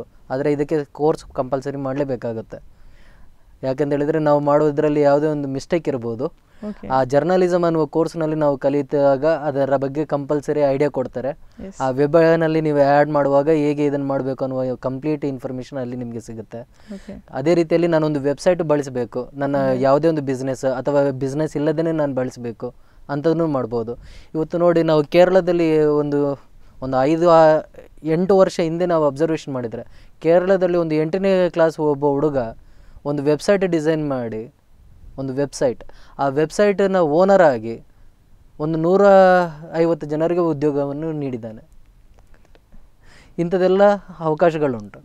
ಯಾವುದಕ್ಕೂ ಅವ್ರ ಇಂಟ್ರೆಸ್ಟ್ ತೋರಿಸ್ಬೇಕು. ಈಗ ಗ್ರಾಫಿಕ್ಸ್ ಡಿಸೈನರ್ ಅಂತ ಹೇಳ್ತೀವಿ. ಆ ಗ್ರಾಫಿಕ್ಸ್ನಲ್ಲಿ ಹೇಗೆ ಡಿಸೈನ್ ಮಾಡಲಿಕ್ಕೆ ಆಗುತ್ತೆ ನೆಕ್ಸ್ಟ್ ಗೇಮಿಂಗ್ ಡಿಸೈನರ್ ಅಂತ ಹೇಳ್ತೀವಿ. ಗೇಮಿಂಗ್ ಡೆವಲಪರ್ ಅಂತ ಹೇಳ್ತೀವಿ.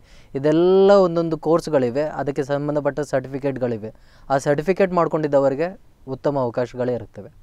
ಓಕೆ ಸರ್ ಈಗ ಎಂಟರ್ಟೈನ್ಮೆಂಟ್ ಫೀಲ್ಡಲ್ಲಿ ಯಾವ ರೀತಿ ಯೂಸ್ ಆಗುತ್ತೆ? ಎಂಟರ್ಟೈನ್ಮೆಂಟ್ ಫೀಲ್ಡ್ ಅಂತ ಹೇಳುವಾಗ ನೋಡಿ ಮೇಡಮ್ ಇವತ್ತು ನಾವು ಒಂದು ಲೈವ್ ರೆಕಾರ್ಡ್ ಮಾಡ್ತಾ ಇದ್ವಿ. ಲೈವ್ ರೆಕಾರ್ಡ್ ಮಾಡ್ತಿರುವಾಗ ಇದನ್ನು ನೀವು ಮೀಡಿಯಾದಲ್ಲಿ ನೀವು ಬಿಡ್ತೀರಾ? ಈ ಮೀಡಿಯಾದಲ್ಲಿ ಬಿಡುವಾಗ ನಾವು ಖಂಡಿತ ನೆಟ್ವರ್ಕ್ನ ಯೂಸ್ ಮಾಡ್ತಾ ಇದ್ವಿ. ನೆಟ್ವರ್ಕ್ ಒಂದು ಕಂಪ್ಯೂಟರ್ ಕ್ಷೇತ್ರವೇ. ಯಾರೇ ಒಂದು ಅದನ್ನು ಹ್ಯಾಕ್ ಮಾಡಬಾರ್ದು ಯಾರೇ ಒಂದು ಅದನ್ನು ಡೂಪ್ಲಿಕೇಟ್ ಮಾಡಬಾರ್ದು ಇನ್ನೂ ಟೆಕ್ನಾಲಜಿ ಡೆವಲಪ್ ಆಗಲಿಲ್ಲ. ಈ ಥರ ಟೆಕ್ನಾಲಜಿ ಡೆವಲಪ್ ಆಗಿದ್ದರೆ ಫಿಲಿಮ್ ಇಂಡಸ್ಟ್ರಿ ಅವರಿಗೆ ತುಂಬ ಹೆಲ್ಪ್ಫುಲ್ ಆಗುತ್ತೆ. ಯಾವುದೇ ಕಾರಣಕ್ಕೂ ಡ್ಯಾ ಡೂಪ್ಲಿಕೇಟ್ ಮಾಡಲಿಕ್ಕೆ ಅವಕಾಶ ಕೊಡಬಾರ್ದು. ಯಾಕೆ ಅಂತ ಒಂದು ತಂತ್ರಜ್ಞಾನ ಬಳಸ್ತಾ ಇಲ್ಲ ಅನ್ನೋದನ್ನು ಇನ್ನೂ ಮಿಲಿಯನ್ ಡಾಲರ್ ಕ್ವಶನ್ ಇವತ್ತು ಯಾವುದೇ ಒಂದು ಹೊಸ ಪಿಕ್ಚರ್ ರಿಲೀಸ್ ಆಯಿತು ಅಂತ ಹೇಳಿದರೆ ಸಂಜೆ ಒಳಗೆ ಅದರ ಒರಿಜಿನಲ್ ಕಾಪಿ ಹೊರಗೆ ಬಂದಿರುತ್ತೆ. ಹೇಗೆ ಹೊರಗೆ ಬರ್ತಾ ಉಂಟು ಇದಕ್ಕೆ? ನಾವು ಯೂಸ್ ಮಾಡ್ತಿರುವ ಟೆಕ್ನಾಲಜಿ ಆ ಟೆಕ್ನಾಲಜಿ ಯಾರೋ ನೋಡಿ ತಮಿಳ್ ರಾಕರ್ಸ್ ಅಂತ ಒಂದು ಸೈಟ್ ನೋಡಿದ್ದೀವಿ ನಾವು. Robo two point zero cinema release ಮಾಡುವ ಮೊದಲು. ಅವ್ರು ಏನು ಹೇಳಿದ್ದಾರೆ ಅಂತ ಹೇಳಿದರೆ ನಿರ್ಮಾತೆ ಏನೋ ಅಪೇಕ್ಷೆ ಮಾಡಿದ್ದಾರೆ ಅಂತ ಹೇಳಿ. ಇವರು ಏನು ಮಾಡಿದ್ದಾರೆ ಅವರಲ್ಲಿ ಇರುವ ಹದಿನೆಂಟು ಸಾವಿರ ವೆಬ್ಸೈಟ್ ಅಪ್ರಾಕ್ಸಿಮೇಟ್ಲಿ ಹದಿನೆಂಟು ಸಾವಿರ ವೆಬ್ಸೈಟ್ಗಳಲ್ಲಿ ಹ್ಯಾಕರ್ಸ್ ಬ್ಲಾಕ್ ಮಾಡಿದ್ರೂ ಒರಿಜಿನಲ್ ಕಾಪಿನ ಅವರು ರಿಲೀಸ್ ಮಾಡಿದ್ದಾರೆ. ನೆಟ್ವರ್ಕ್ ಮುಖಾಂತರ ಅದು ಬಳಕೆ ಆಗ್ತಾ ಉಂಟು. ಅದೇ ನೋಡಿ ನಮ್ಮಲ್ಲಿ ನೆಟ್ವರ್ಕ್ ಇಂಜಿನಿಯರ್ ಕರೆಕ್ಟಾಗಿದ್ದರೆ ಫಿಲಿಮ್ ಇಂಡಸ್ಟ್ರಿ ಆಗಲಿ ಅಥವಾ ಇಂಥ ಸೋರಿಕೆ ಆಗುವ ಇಂಡಸ್ಟ್ರಿ ಆಗಲಿ ಯಾವುದೇ ಕಾರಣಕ್ಕೂ ಲೀಕ್ ಆಗಲ್ಲ. ಈಗ ಸರ್ ಮಕ್ಕಳೆಲ್ಲ ಪಿ ಯು ಸಿ ಆಗಿ ಎಸ್ ಎಸ್ ಎಲ್ ಸಿ ಆಗಿ ಎಕ್ಸಾಮ್ ಆಗಿ ಕೂತಿದ್ದಾರೆ ರಜೆಯಲ್ಲಿದ್ದಾರೆ. ಈ ರಜೆ ಟೈಮಲ್ಲಿ ಯಾವ ರೀತಿ ಕಂಪ್ಯೂಟರಲ್ಲಿ ಯಾವ ರೀತಿಯ ಕೋರ್ಸ್ ಮಾಡ್ಬೋದು ಅವರಿಗೆ? ಈಗ ಏನೋ ನಮಗೆ ಗೊತ್ತಿಲ್ಲದವರಿಗೆ ಬೇಸಿಕ್ ಕೋರ್ಸನ್ನು ನಾವು ಪ್ರಿಫರ್ ಮಾಡ್ತೀವಿ ಮೇಡಮ್ ಯಾಕಂತ ಹೇಳಿದ್ರೆ ಕಂಪ್ಯೂಟರ್ನ ಯೂಸ್ ಮಾಡೋದೇ ಗೊತ್ತಿಲ್ಲದೆ ಹೋದರೆ ಅದರಲ್ಲಿ ಏನೂ ಮಾಡಲಿಕ್ಕೆ ಆಗಲ್ಲ. ಅದಕ್ಕೆ ಅವರು ಬೇಸಿಕ್ಸ್ ಕಲಿಯೋದು ಉತ್ತಮ. ಆ ಬೇಸಿಕ್ಸ್ನಲ್ಲಿ ಅವರು ಆಟೋಮೆಟಿಕಲಿ ಏನು ಕಲಿತಾರೆ ಅಂತ ಹೇಳಿದರೆ ಪೇಂಟ್ ಬಗ್ಗೆ ಕಲಿತಾರೆ. ಪೇಂಟಲ್ಲಿ ಅವರು ಚೆನ್ನಾಗಿ ಇಂಟ್ರೆಸ್ಟ್ ಉಂಟು ಅಂತ ಅಂದ್ಕೊಳ್ಳಿ ಗ್ರಾಫಿಕ್ಸ್ ಸೈಡ್ ಆಟೋಮೆಟಿಕಲಿ ಹೋಗ್ತಾರೆ. ಇಲ್ಲ ವರ್ಡ್ ಪವರ್ ಪಾಯಿಂಟ್ ಎಕ್ಸೆಲ್ ಅಂತ ನಾವು ಹೇಳ್ತೀವಿ. ಇದರಲ್ಲಿ ಅವರು ಹೇಗೆ ಡಾಕ್ಯುಮೆಂಟೇಷನ್ ಪ್ರಿಪೇರ್ ಮಾಡೋದು ಪವರ್ ಪಾಯಿಂಟಲ್ಲಿ ಹೇಗೆ ನಾವು ಪ್ರೆಸೆಂಟೇಷನ್ ಮಾಡೋದು, ಅದೇ ಎಕ್ಸೆಲ್ನಲ್ಲಿ ಹೇಗೆ ಕ್ಯಾಲ್ಕುಲೇಷನ್ ಮಾಡೋದು, ಇದರ ಬಗ್ಗೆ ಐಡಿಯಾ ಸಿಗುತ್ತೆ. ಇದರ ಕರೆಕ್ಟಾಗಿ ಅವರು ಯೂಸ್ ಮಾಡಿದರೆ ಯಾವ ಲೈನ್ ಹೋಗಬೇಕು ಅನ್ನೋದನ್ನು ಅವರಿಗೆ ಕರೆಕ್ಟಾಗಿ ಅರಿವಿರುತ್ತೆ. ಇಲ್ಲ ನಾನು ಓನ್ಲಿ ಜಾಬ್ಗೆ ಹೋಗಬೇಕು ಅಂತ ಇದ್ದರೆ ಇಂಥ ಫೋಟೋಶಾಪ್ ಇಂಥದ್ದೆಲ್ಲ ಚೂಸ್ ಮಾಡೋದು ಒಳ್ಳೆಯದು ಯಾಕೆಂತ ಹೇಳಿದರೆ ಇವತ್ತು ಫೋಟೋಶಾಪ್ನಲ್ಲಿ ಒಂದು ಮದುವೆ ಗಿದುವೆ ಆದರೆ ಮದುವೆಗಿಂತ ಖರ್ಚು ಫೋಟೋ ಆಲ್ಬಮ್ಗೆ ಆಗುತ್ತೆ. ಎಸ್ ಕರೆಕ್ಟ್ ಮದುವೆ ಫೋಟೋ ಆಲ್ಬಮ್ ಒಂದು ಲಕ್ಷ ಒಂದೂವರೆ ಲಕ್ಷ ಅಂತ ಹೇಳ್ತಾರೆ. ವಿಡಿಯೋ ಯಾಕಂತ ಹೇಳಿದರೆ ಅಷ್ಟೊಂದು ಶೂಟ್ ಮಾಡ್ತೀವಿ ಅಷ್ಟೊಂದು ನೀಟಾಗಿ ಪ್ರೆಸೆಂಟ್ ಮಾಡ್ತೀವಿ ಅಷ್ಟೊಂದು ಬ್ಯಾಕ್ಗ್ರೌಂಡ್ ಇದೆ ಎಲ್ಲ ಡಿಸೈನ್ ಮಾಡಿ ಕೊಡ್ತೀವಿ. ಆ ಡಿಸೈನ್ ಮಾಡಬೇಕಂತ ಹೇಳಿದರೆ ಅಷ್ಟೇ ಒಂದು ನಮಗೆ ನಾಲೆಡ್ಜ್ ಇರಬೇಕು. ಶೂಟ್ ಮಾಡೋದು ಮುಖ್ಯ ಅಲ್ಲ. ಶೂಟ್ ಹೇಗೇ ಮಾಡಿರಲಿ, ಅದನ್ನು ಹೇಗೆ ಪ್ರೆಸೆಂಟ್ ಮಾಡ್ತೀವಿ ಅನ್ನೋದು ಭಾಳಷ್ಟು ಮುಖ್ಯ ಆಗಿರುತ್ತೆ. ಆ ಪ್ರೆಸೆಂಟ್ ಮಾಡುವಾಗ ಅದನ್ನು ಎಡಿಟಿಂಗ್ ಮಾಡೋದು ಹೇಗೆ ಅನ್ನೋದನ್ನು ಕರೆಕ್ಟ್ ಗೊತ್ತಿರಬೇಕು. ಇದೆಲ್ಲ ಫೋಟೋಶಾಪಲ್ಲಿ ಗೊತ್ತಾಗುತ್ತೆ. ಏನೂ ಅರಿವಿಲ್ಲದವರಿಗೆ. ಅದೇ ರೀತಿಯಲ್ಲಿ ಟ್ಯಾಲಿ ಬಗ್ಗೆನೂ ನಾವು ಹೇಳ್ಬೋದು. ನಮಗೆ ಟ್ಯಾಲಿ ಬಗ್ಗೆ ಒಂದು ಅಕೌಂಟಿಂಗ್ ಬಗ್ಗೆ ಒಂದು ನಾಲೆಡ್ಜ್ ಇರುತ್ತೆ. ಯಾಕೆಂತ ಹೇಳಿದರೆ ಈ ಕರಾವಳಿ ರೀಜನಲ್ಲಿ ಸಾಕಷ್ಟು ವಿದ್ಯಾರ್ಥಿಗಳು ಸೈನ್ಸ್ ಬಗ್ಗೆ ಇಂಟ್ರೆಸ್ಟ್ ತೋರಿಸೋದಿಲ್ಲ ಆಟೋಮೆಟಿಕಲಿ ಕಾಮರ್ಸ್ ಬಗ್ಗೆನೇ ಇಂಟ್ರೆಸ್ಟ್ ತೋರಿಸ್ತಾರೆ. ಈ ಇಂಟ್ರೆಸ್ಟ್ ತೋರಿಸುವವರು ಮನೆಯಲ್ಲಿ ಸುಮ್ಮನೆ ಕೋರದೆ ಅವರು ರಜೆ ಟೈಮಲ್ಲಿ ಇಂಥ ಕಾಮರ್ಸ್ಗೆ ಸಂಬಂಧಪಟ್ಟ ಟ್ಯಾಲಿ ಕೋರ್ಸ್ನು ಮಾಡ್ಕೊಳ್ಬೋದು. ಈಗ ನಾನು ಇಲ್ಲಿ ಇನ್ನೊಂದು ರೀಸನ್ ನಾವು ನೋಡ್ತಾ ಇದ್ದೀವಿ. ಕೆಲವರು ಬಡ ಮಕ್ಕಳು ಇರ್ತಾರೆ. ಈ ಬಡ ಮಕ್ಕಳು ಏನು ಅಂತ ಅಂದ್ಕೊಳ್ತಾರೆ ಅಂತ ಹೇಳಿದರೆ ಆ ಕೋರ್ಸ್ ಮಾಡಬೇಕಾದ್ರೆ ಮೂರು ಸಾವಿರ ಕಟ್ಟಬೇಕು ನಾಲ್ಕು ಸಾವಿರ ಕಟ್ಟಬೇಕು ಐದು ಸಾವಿರ ಕಟ್ಟಬೇಕು ಅದೆಲ್ಲ ನಮಗೆ ಆಗೋದಿಲ್ಲ ಅಂತ ಇರ್ತಾರೆ. ಅಂಥ ಬಡ ಮಕ್ಕಳಿಗಾಗಿ ಏನು ಮಾಡ್ಬೋದು ಅಂತ ಹೇಳಿದರೆ ಇಲ್ಲಿ ಮಣಿಪಾಲದಲ್ಲೇ ಸಿಂಡ್ ಆರ್ಸೆಟಾಯಿ ಅಂತ ಉಂಟು. ಆ ಸಿಂಡ್ ಆರ್ಸೆಟಾಯಿ ಅವ್ರು ಏನು ಮಾಡ್ತಾರೆ ಅಂತ ಹೇಳಿದರೆ ನಿಮ್ಮ ಹದಿನಾರು ವರ್ಷ ಮೀರಿದರೆ ಅಲ್ಲಿ ಒಂದು ಏಜ್ ಲಿಮಿಟ್ ಕೊಡ್ತಾ ಇದ್ದಾರೆ ಅವರು. ಹದಿನಾರು ವರ್ಷ ಮೀರಿದವರು ಅವರ ಅಲ್ಲಿ ಕೋರ್ಸ್ಗೆ ನೀವು ರಿಜಿಸ್ಟರ್ ಮಾಡ್ಬೋದು. ಇಲ್ಲಿ ಅವರು ಸೆಲ್ಫ್ ಎಂಪ್ಲಾಯ್ಮೆಂಟ್ ಸ್ಕೀಮ್ನಿಂದ ಅವರು ಕೋರ್ಸ್ಗಳೆಲ್ಲ ಆಫರ್ ಮಾಡ್ತಾ ಇದ್ದಾರೆ. ಆ ರೂರಲ್ ಸೆಲ್ಫ್ ಎಂಪ್ಲಾಯ್ಮೆಂಟ್ ಕೋರ್ಸಿಂದ ಅವರು, ಆ ಕೋರ್ಸ್ಗೆ ನೀವು ಅಪ್ಲೈ ಮಾಡ್ಕೊಳ್ಬೋದು. ಅವರು ಕೊಡ್ತಿರುವ ಫೆಸಿಲಿಟಿನೂ ಯೂಸ್ ಮಾಡ್ಬೋದು. ಅಲ್ಲೇ ನಿಮ್ಮ ನಿಲ್ಲುವ ಫೆಸಿಲಿಟಿನೂ ಕೊಡ್ತಾರೆ. ಇಂಥ ಇದನ್ನೆಲ್ಲ ನೀವು ಯೂಸ್ ಮಾಡಿಕೊಂಡು ಕಂಪ್ಯೂಟರ್ನೂ ಕಲಿಬೋದು. ಓಕೆ ಸರ್ ಈಗ ಕಂಪ್ಯೂಟರ್ ಕಲಿಯೋದಕ್ಕೆ ಏಜ್ ಲಿಮಿಟ್ ಇಲ್ಲ ಅಂತ ಹೇಳ್ಬೋದು. ಆದರೆ ಜಾಬ್ ಆಫರ್ ಮಾಡುವಾಗ ಅವರು ಏಜ್ ಲಿಮಿಟ್ ಹಾಕ್ತಾರಾ? ಕಂಪ್ಯೂಟರ್ ಕೋರ್ಸ್ ಕಲಿಯುವಾಗ ಜಾಬ್ ಏಜ್ ಲಿಮಿಟ್ ಅನ್ನೋದು ಏನೂ ಇಲ್ಲ ಮೇಡಮ್ ಆದರೆ ಕೆಲವೊಂದು ಗೌರ್ಮೆಂಟ್ ಸೆಕ್ಟರ್ನಲ್ಲಿ ನಾವು ವರ್ಕ್ ಮಾಡ್ತಿರುವಾಗ ಕಂಪಲ್ಸರಿ ಅದಕ್ಕೆ ಏಜ್ ಲಿಮಿಟ್ ಉಂಟೇ ಉಂಟು. Sixty years is a retirement age but ಇಲ್ಲಿ ಕಂಪ್ಯೂಟರ್ನಲ್ಲಿ ನಿಮ್ಮ ಇಷ್ಟ ಅದು. ಯಾಕೆಂತ ಹೇಳಿದರೆ ಯಾವುದೇ ಒಂದು ಏಜ್ ಲಿಮಿಟ್ ಅನ್ನೋದು ಇಲ್ಲ ಇಲ್ಲಿ. ಅದನ್ನೇ ನಾವು ಇಲ್ಲಿ ಹೇಳ್ತಾ ಇದ್ವಿ. ಫಾರ್ ಎಕ್ಸಾಂಪಲ್ ಆಗಿ ನಾವು ಕೆ ಎಫ್ ಸಿ ಅವರನ್ನು ನೋಡ್ತಾ ಇದ್ವಿ ಸ್ಯಾಮ್ ಆ್ಯಂಡರ್ಸನ್ ಇವ್ರನ್ನ ನಾವು ಅಬ್ಸರ್ವೇಷನ್ ಮಾಡಿದರೆ ಅವರಿಗೆ ರಿಟೈರ್ಮೆಂಟ್ ಲೈಫ್ ತನಕ ಅವ್ರು ಏನೂ ಗಳಿಸಲಿಲ್ಲ. ಆರ್ಮಿಯಲ್ಲಿ ವರ್ಕ್ ಮಾಡಿದ್ರು ಎಲ್ಲ ಇದನ್ನು ಬಿಟ್ಟಿದ್ರು ಎಲ್ಲ ಸೋಲುಗಳೇ ಇತ್ತು. ಆದರೆ ಅವರ ಸೆಕೆಂಡ್ ಇನ್ನಿಂಗ್ಸ್ ಸ್ಟಾರ್ಟ್ ಆದದ್ದು ಆಫ್ಟರ್ ರಿಟೈರ್ಮೆಂಟ್ ಆಫ್ಟರ್ ರಿಟೈರ್ಮೆಂಟ್ ಅವರು ಕಿ ಚಿಕನ್ ಪ್ರಿಪೇರ್ ಮಾಡಿ ಒಂದು ಹೋಟೆಲಲ್ಲಿ ಸರ್ವ್ ಮಾಡಿ ಇದನ್ನು ಮಾಡಿದ್ದಾರೆ. ಅದು ತುಂಬ ಪಾಪ್ಯುಲರ್ ಆಗಿದ್ದ ಕಾರಣಕ್ಕಾಗಿ ಇವತ್ತು ನಾವು ಒಂದು ಕೆ ಎಫ್ ಸಿನ ನೋಡ್ತಾ ಇದ್ವಿ. ಸೊ ಇಲ್ಲಿ ಅವರಿಗೆ ಏಜ್ ಲಿಮಿಟ್ ಉಂಟಾ ಅಂತ ಹೇಳಿದ್ರೆ ಏಜ್ ಲಿಮಿಟ್ ಇಲ್ಲ. ಸಕ್ಸಸ್ಗೆ ಏಜ್ ಲಿಮಿಟ್ ಇಲ್ಲ. ಎಸ್ ಈಗ ಕಂಪ್ಯೂಟರೈಸ್ ಯುಗ ಎಷ್ಟು ಎಷ್ಟು ಡೆವಲಪ್ ಆಗಿತ್ತಂದರೆ ಯೂಟ್ಯೂಬಲ್ಲೂ ನಮಗೆ ಕಂಪ್ಯೂಟರ್ ಹೇಗೆ ಯೂಸ್ ಮಾಡ್ಬೋದು ಎಲ್ಲನೂ ಕೋರ್ಸ್ ಬೈ ಕೋರ್ಸ್ ಅವರು ಕಲಿಸ್ತಾರೆ. ಆ ರೀತಿ ಕಲಿಸಿದರೆ ಅದು ಎಷ್ಟರ ಮಟ್ಟಿಗೆ ಪ್ರಭಾವ ಬೀರುತ್ತೆ? ಅದು ಎಷ್ಟರ ಮಟ್ಟಿಗೆ ಪ್ರಭಾವ ಬೀರುತ್ತೆ ಅಂತ ಮೇಡಮ್ ನಾವು ಕಂಪ್ಲೀಟ್ ಅದನ್ನು ಡೌನ್ಲೋಡ್ ಮಾಡಬೇಕು ಸ್ಟಡಿ ಮಾಡಬೇಕು. ಯಾಕೆಂತ ಹೇಳಿದರೆ ಈಗ ಕರೆಕ್ಟ್ ಯೂಟ್ಯೂಬ್ನಲ್ಲಿ ಸಾಕಷ್ಟು ವಿಡಿಯೋಗಳು ಸಿಗುತ್ತವೆ. ಅದರಲ್ಲಿ ಯಾವುದು ಕರೆಕ್ಟಾಗಿ ಕಳಿಸ್ತಾ ಇದ್ದಾರೆ ಅನ್ನೋದನ್ನು ನಾವು ಫಸ್ಟ್ ಸ್ಟಡಿ ಮಾಡಬೇಕಾಗುತ್ತೆ. ಅಲ್ಲಿ ಕ ಏನು ಹೇಳ್ತಾ ಇದ್ದಾರೆ ಅನ್ನೋದನ್ನು ನಾವು ಕರೆಕ್ಟಾಗಿ ಒಂದು ನೋಡಿ ಯಾವುದೇ ಒಂದು ವಿಷಯವನ್ನು ನೀವು ಸರ್ಚ್ ಮಾಡಿದರೆ ಒಂದು ನಾಲ್ಕೈದು ಅಥವಾ ಒಂದು ನೂರು ಪೇಜ್ಗಳ ಇನ್ಫಾರ್ಮೇಷನ್ ಬರುತ್ತೆ. ಆ ನೂರು ಪೇಜಲ್ಲಿ ಯಾವುದು ಕರೆಕ್ಟ್ ಯಾವುದು ರಾಂಗ್ ಅನ್ನೋದನ್ನು ನಾವು ನೋಡ್ತಾ ಹೋಗೋದ್ರಲ್ಲೇ ಕಾಲೇ ಕಳೆಯುತ್ತೆ. ಅದಕ್ಕಿಂತ ನಾವು ಒಂದು ಕೋರ್ಸ್ ಜಾಯಿನ್ ಮಾಡಿ ಕೋರ್ಸ್ನಲ್ಲಿ ಅದನ್ನು ಏನು ಹೇಳ್ತಾ ಇದ್ದಾರೆ ಅನ್ನೋದನ್ನು ನೋಡ್ತಾ ಅದರ ಅಡ್ವಾನ್ಸ್ ಟಾಪಿಕ್ನು ನಾವು ಅಲ್ಲಿ ಕಲಿಬೋದು. ಇದನ್ನು ನಾವು ಹೇಳಲಿಕ್ಕೆ ಇಷ್ಟಪಡ್ತೇವೆ. ಫೈನಲ್ ಆಗಿ ಈಗಿನ ಯುವ ವಿದ್ಯಾರ್ಥಿಗಳಿಗೆ ಏನು ಹೇಳಿಕೆ ಇಷ್ಟಪಡ್ತೀರಾ ಸರ್ ಯುವ ವಿದ್ಯಾರ್ಥಿಗಳಲ್ಲಿ ಬಿಸಿ ರಕ್ತ ಜಾಸ್ತಿ ಉಂಟು. ಅವರ ಬಿಸಿ ರಕ್ತವನ್ನು ಕರೆಕ್ಟ್ ಮಾರ್ಗದಲ್ಲಿ ಯೂಸ್ ಮಾಡಿದರೆ ಕಂಪ್ಯೂಟರ್ ಅಂತ ಈ ಒಂದು ಕೋರ್ಸಲ್ಲಿ ಅವರು ಯೂಸ್ ಮಾಡಿಕೊಂಡ್ರೆ ಸಾಕಷ್ಟು ಏನೆಲ್ಲ ಉದ್ಯೋಗಗಳು ಉಂಟು ಫ್ಯೂಚರ್ನಲ್ಲಿ ನಾವು ಹೇಳಲಿಕ್ಕಾಗಲ್ಲ. ಈಗ ನಾವು ಜಸ್ಟ್ ಬೈಕ್ ಬಸ್ ಕಾರಲ್ಲಿ ಬರ್ತಾ ಇದ್ವಿ. ಇನ್ನು ಫ್ಯೂಚರಲ್ಲಿ ಫ್ಲೈಯಿಂಗ್ ಕಾರ್ಸ್ ಬರ್ಬೋದು. ಇದೆಲ್ಲ ರೋಬೋಟಿಕ್ಸ್ ಯುಗ ಅಂತ ಯುಗ. ಈ ರೋಬೋಟಿಕ್ಸ್ ಯುಗದಲ್ಲಿ ಆಲ್ರೆಡಿ ಈಗನೇ ಇತ್ತೀಚೆಗೆ ಆಗ್ತಾ ಉಂಟು. ಫ್ಲೈಯಿಂಗ್ ಕಾರ್ಸ್ ಇಂಥದ್ದೆಲ್ಲ ಬರ್ತಾ ಉಂಟು. ನಿಮ್ಮ ಸ್ಮಾರ್ಟ್ಫೋನ್ ಬರ್ತಾ ಉಂಟು. ಸ್ಮಾರ್ಟ್ ಟಿ ವಿ ಯೂಸ್ ಮಾಡ್ತಾ ಇದ್ದೀವಿ. ಇನ್ನು ಸ್ಮಾರ್ಟ್ ಹೌಸ್ನೂ ಆಗುವ ಸಾಧ್ಯತೆ ಉಂಟು. ಎಲ್ಲವನ್ನು ಸ್ಮಾರ್ಟ್ ಸ್ಮಾರ್ಟ್ ಸ್ಮಾರ್ಟ್ ಆಗ್ತಾ ಉಂಟು. ಆದರೆ ನಾವು ನಮ್ಮ ಸ್ಮಾರ್ಟ್ನೆಸ್ನ ಇನ್ನೂ ಜಾಸ್ತಿ ಮಾಡಬೇಕು ನಾವು ಟೆಕ್ನಾಲಜಿ ಮೇಲೇ ಡಿಪೆಂಡ್ ಆಗದೆ ನಮ್ಮ ನಾಲೆಡ್ಜನ್ನು ಡಿಪೆಂಡ್ ಆಗಬೇಕು. ಡೆಪೆಂಡ್ ಆಗ್ತಾ ನಮ್ಮ ನಾಲೆಡ್ಜನ್ನ ಇನ್ನೂ ಜಾಸ್ತಿ ಮಾಡಬೇಕು. ಇಲ್ಲದೆ ಹೋದರೆ ನಾವು ನೋಡುವ ಹ್ಯೂಮನೈಡ್ ರೋಬೋಟ್ಸ್ ಬರ್ತಾರೆ. ಆ ಹ್ಯೂಮನೈಡ್ ರೋಬೋಟ್ಸ್ ಈಗನೇ ನಾವು ಸೋಫಿ ಅಂತ ನೋಡ್ತಾ ಇದ್ವಿ ಹೇಗೆ ಮನುಷ್ಯರು ಮಾತಾಡ್ತಾರೋ ಅದೇ ರೀತಿಯಲ್ಲಿ ಇಂಟ್ರ್ಯಾಕ್ಟ್ ಆಗ್ತಾ ಉಂಟು. ನಮ್ಮ ಫೀಲಿಂಗ್ಸ್ ಎಲ್ಲ ಎಕ್ಸ್ಪ್ರೆಸ್ ಮಾಡುತ್ತೆ. ಹೇಗೆ ನಾವು ಎಕ್ಸ್ಪ್ರೆಸ್ ಮಾಡ್ತೇವೋ ಅದೇ ರೀತಿಯಲ್ಲಿ ಕೋಪ ಮಾಡಿದರೆ ಕೋಪ ಇದೇ ಥರ ಬರುತ್ತೆ. ಇನ್ನು ಅದೇ ಥರ ಎಲ್ಲ ರೋ ರೋಗಗಳು ಬಂದರೆ ನಮ್ಮಲ್ಲಿ ತಜ್ಞರು ಇಲ್ಲದೆ ಹೋದರೆ ನಾವೇ ಸ್ವಯಂಕೃತ ಅಪರಾಧದಲ್ಲಿ ಸಿಲುಕಾಕೊಳ್ತೀವಿ ಓಕೆ ಸರ್ ಕಂಪ್ಯೂಟರ್ ಸೈನ್ಸ್ ಬಗ್ಗೆ ಸಾಕಷ್ಟು ಮಾಹಿತಿಯನ್ನು ನೀಡಿದ್ರ ಸರ್ ತಮಗೆ ಧನ್ಯವಾದಗಳು. ಥ್ಯಾಂಕ್ ಯು ಮೇಡಮ್ ವೀಕ್ಷಕರೇ ಕಂಪ್ಯೂಟರ್ ಬಗ್ಗೆ ಈಗ ನೀವು ಸಾಕಷ್ಟು ಮಾಹಿತಿಯನ್ನು ತಿಳಿದಿರು ತಿಳಿದಿರಬಹುದು. ಹಾಗಾಗಿ ಕಂಪ್ಯೂಟರ್ನಲ್ಲಿ ನಿಮ್ಮ ಜೀವನವನ್ನು ಮುಂದುವರಿಸಲಿಕ್ಕೆ ನೀವು ಇಚ್ಛಿಸಿದರೆ ಈ ಮಾಹಿತಿಯನ್ನು ನಿಮ್ಮ ಜೀವನದಲ್ಲೂ ಉಪಯೋಗಿಸಿಕೊಳ್ಳಿ. ನಾಳೆ ಇದೇ ಸಮಯಕ್ಕೆ ಮತ್ತೊಂದು ಹೊಸ ಟಾಪಿಕ್ನೊಂದಿಗೆ ನಾನು ನಿಮ್ಮನ್ನು ಭೇಟಿಯಾಗ್ತಾ ಇದ್ದೀನಿ. ನಿರಂತರ ಸುದ್ದಿ ಹಾಗೂ ಮನೋರಂಜನೆಗಾಗಿ ನೋಡ್ತಾ ಇರಿ ದಾಯ್ಜಿ ವರ್ಲ್ಡ್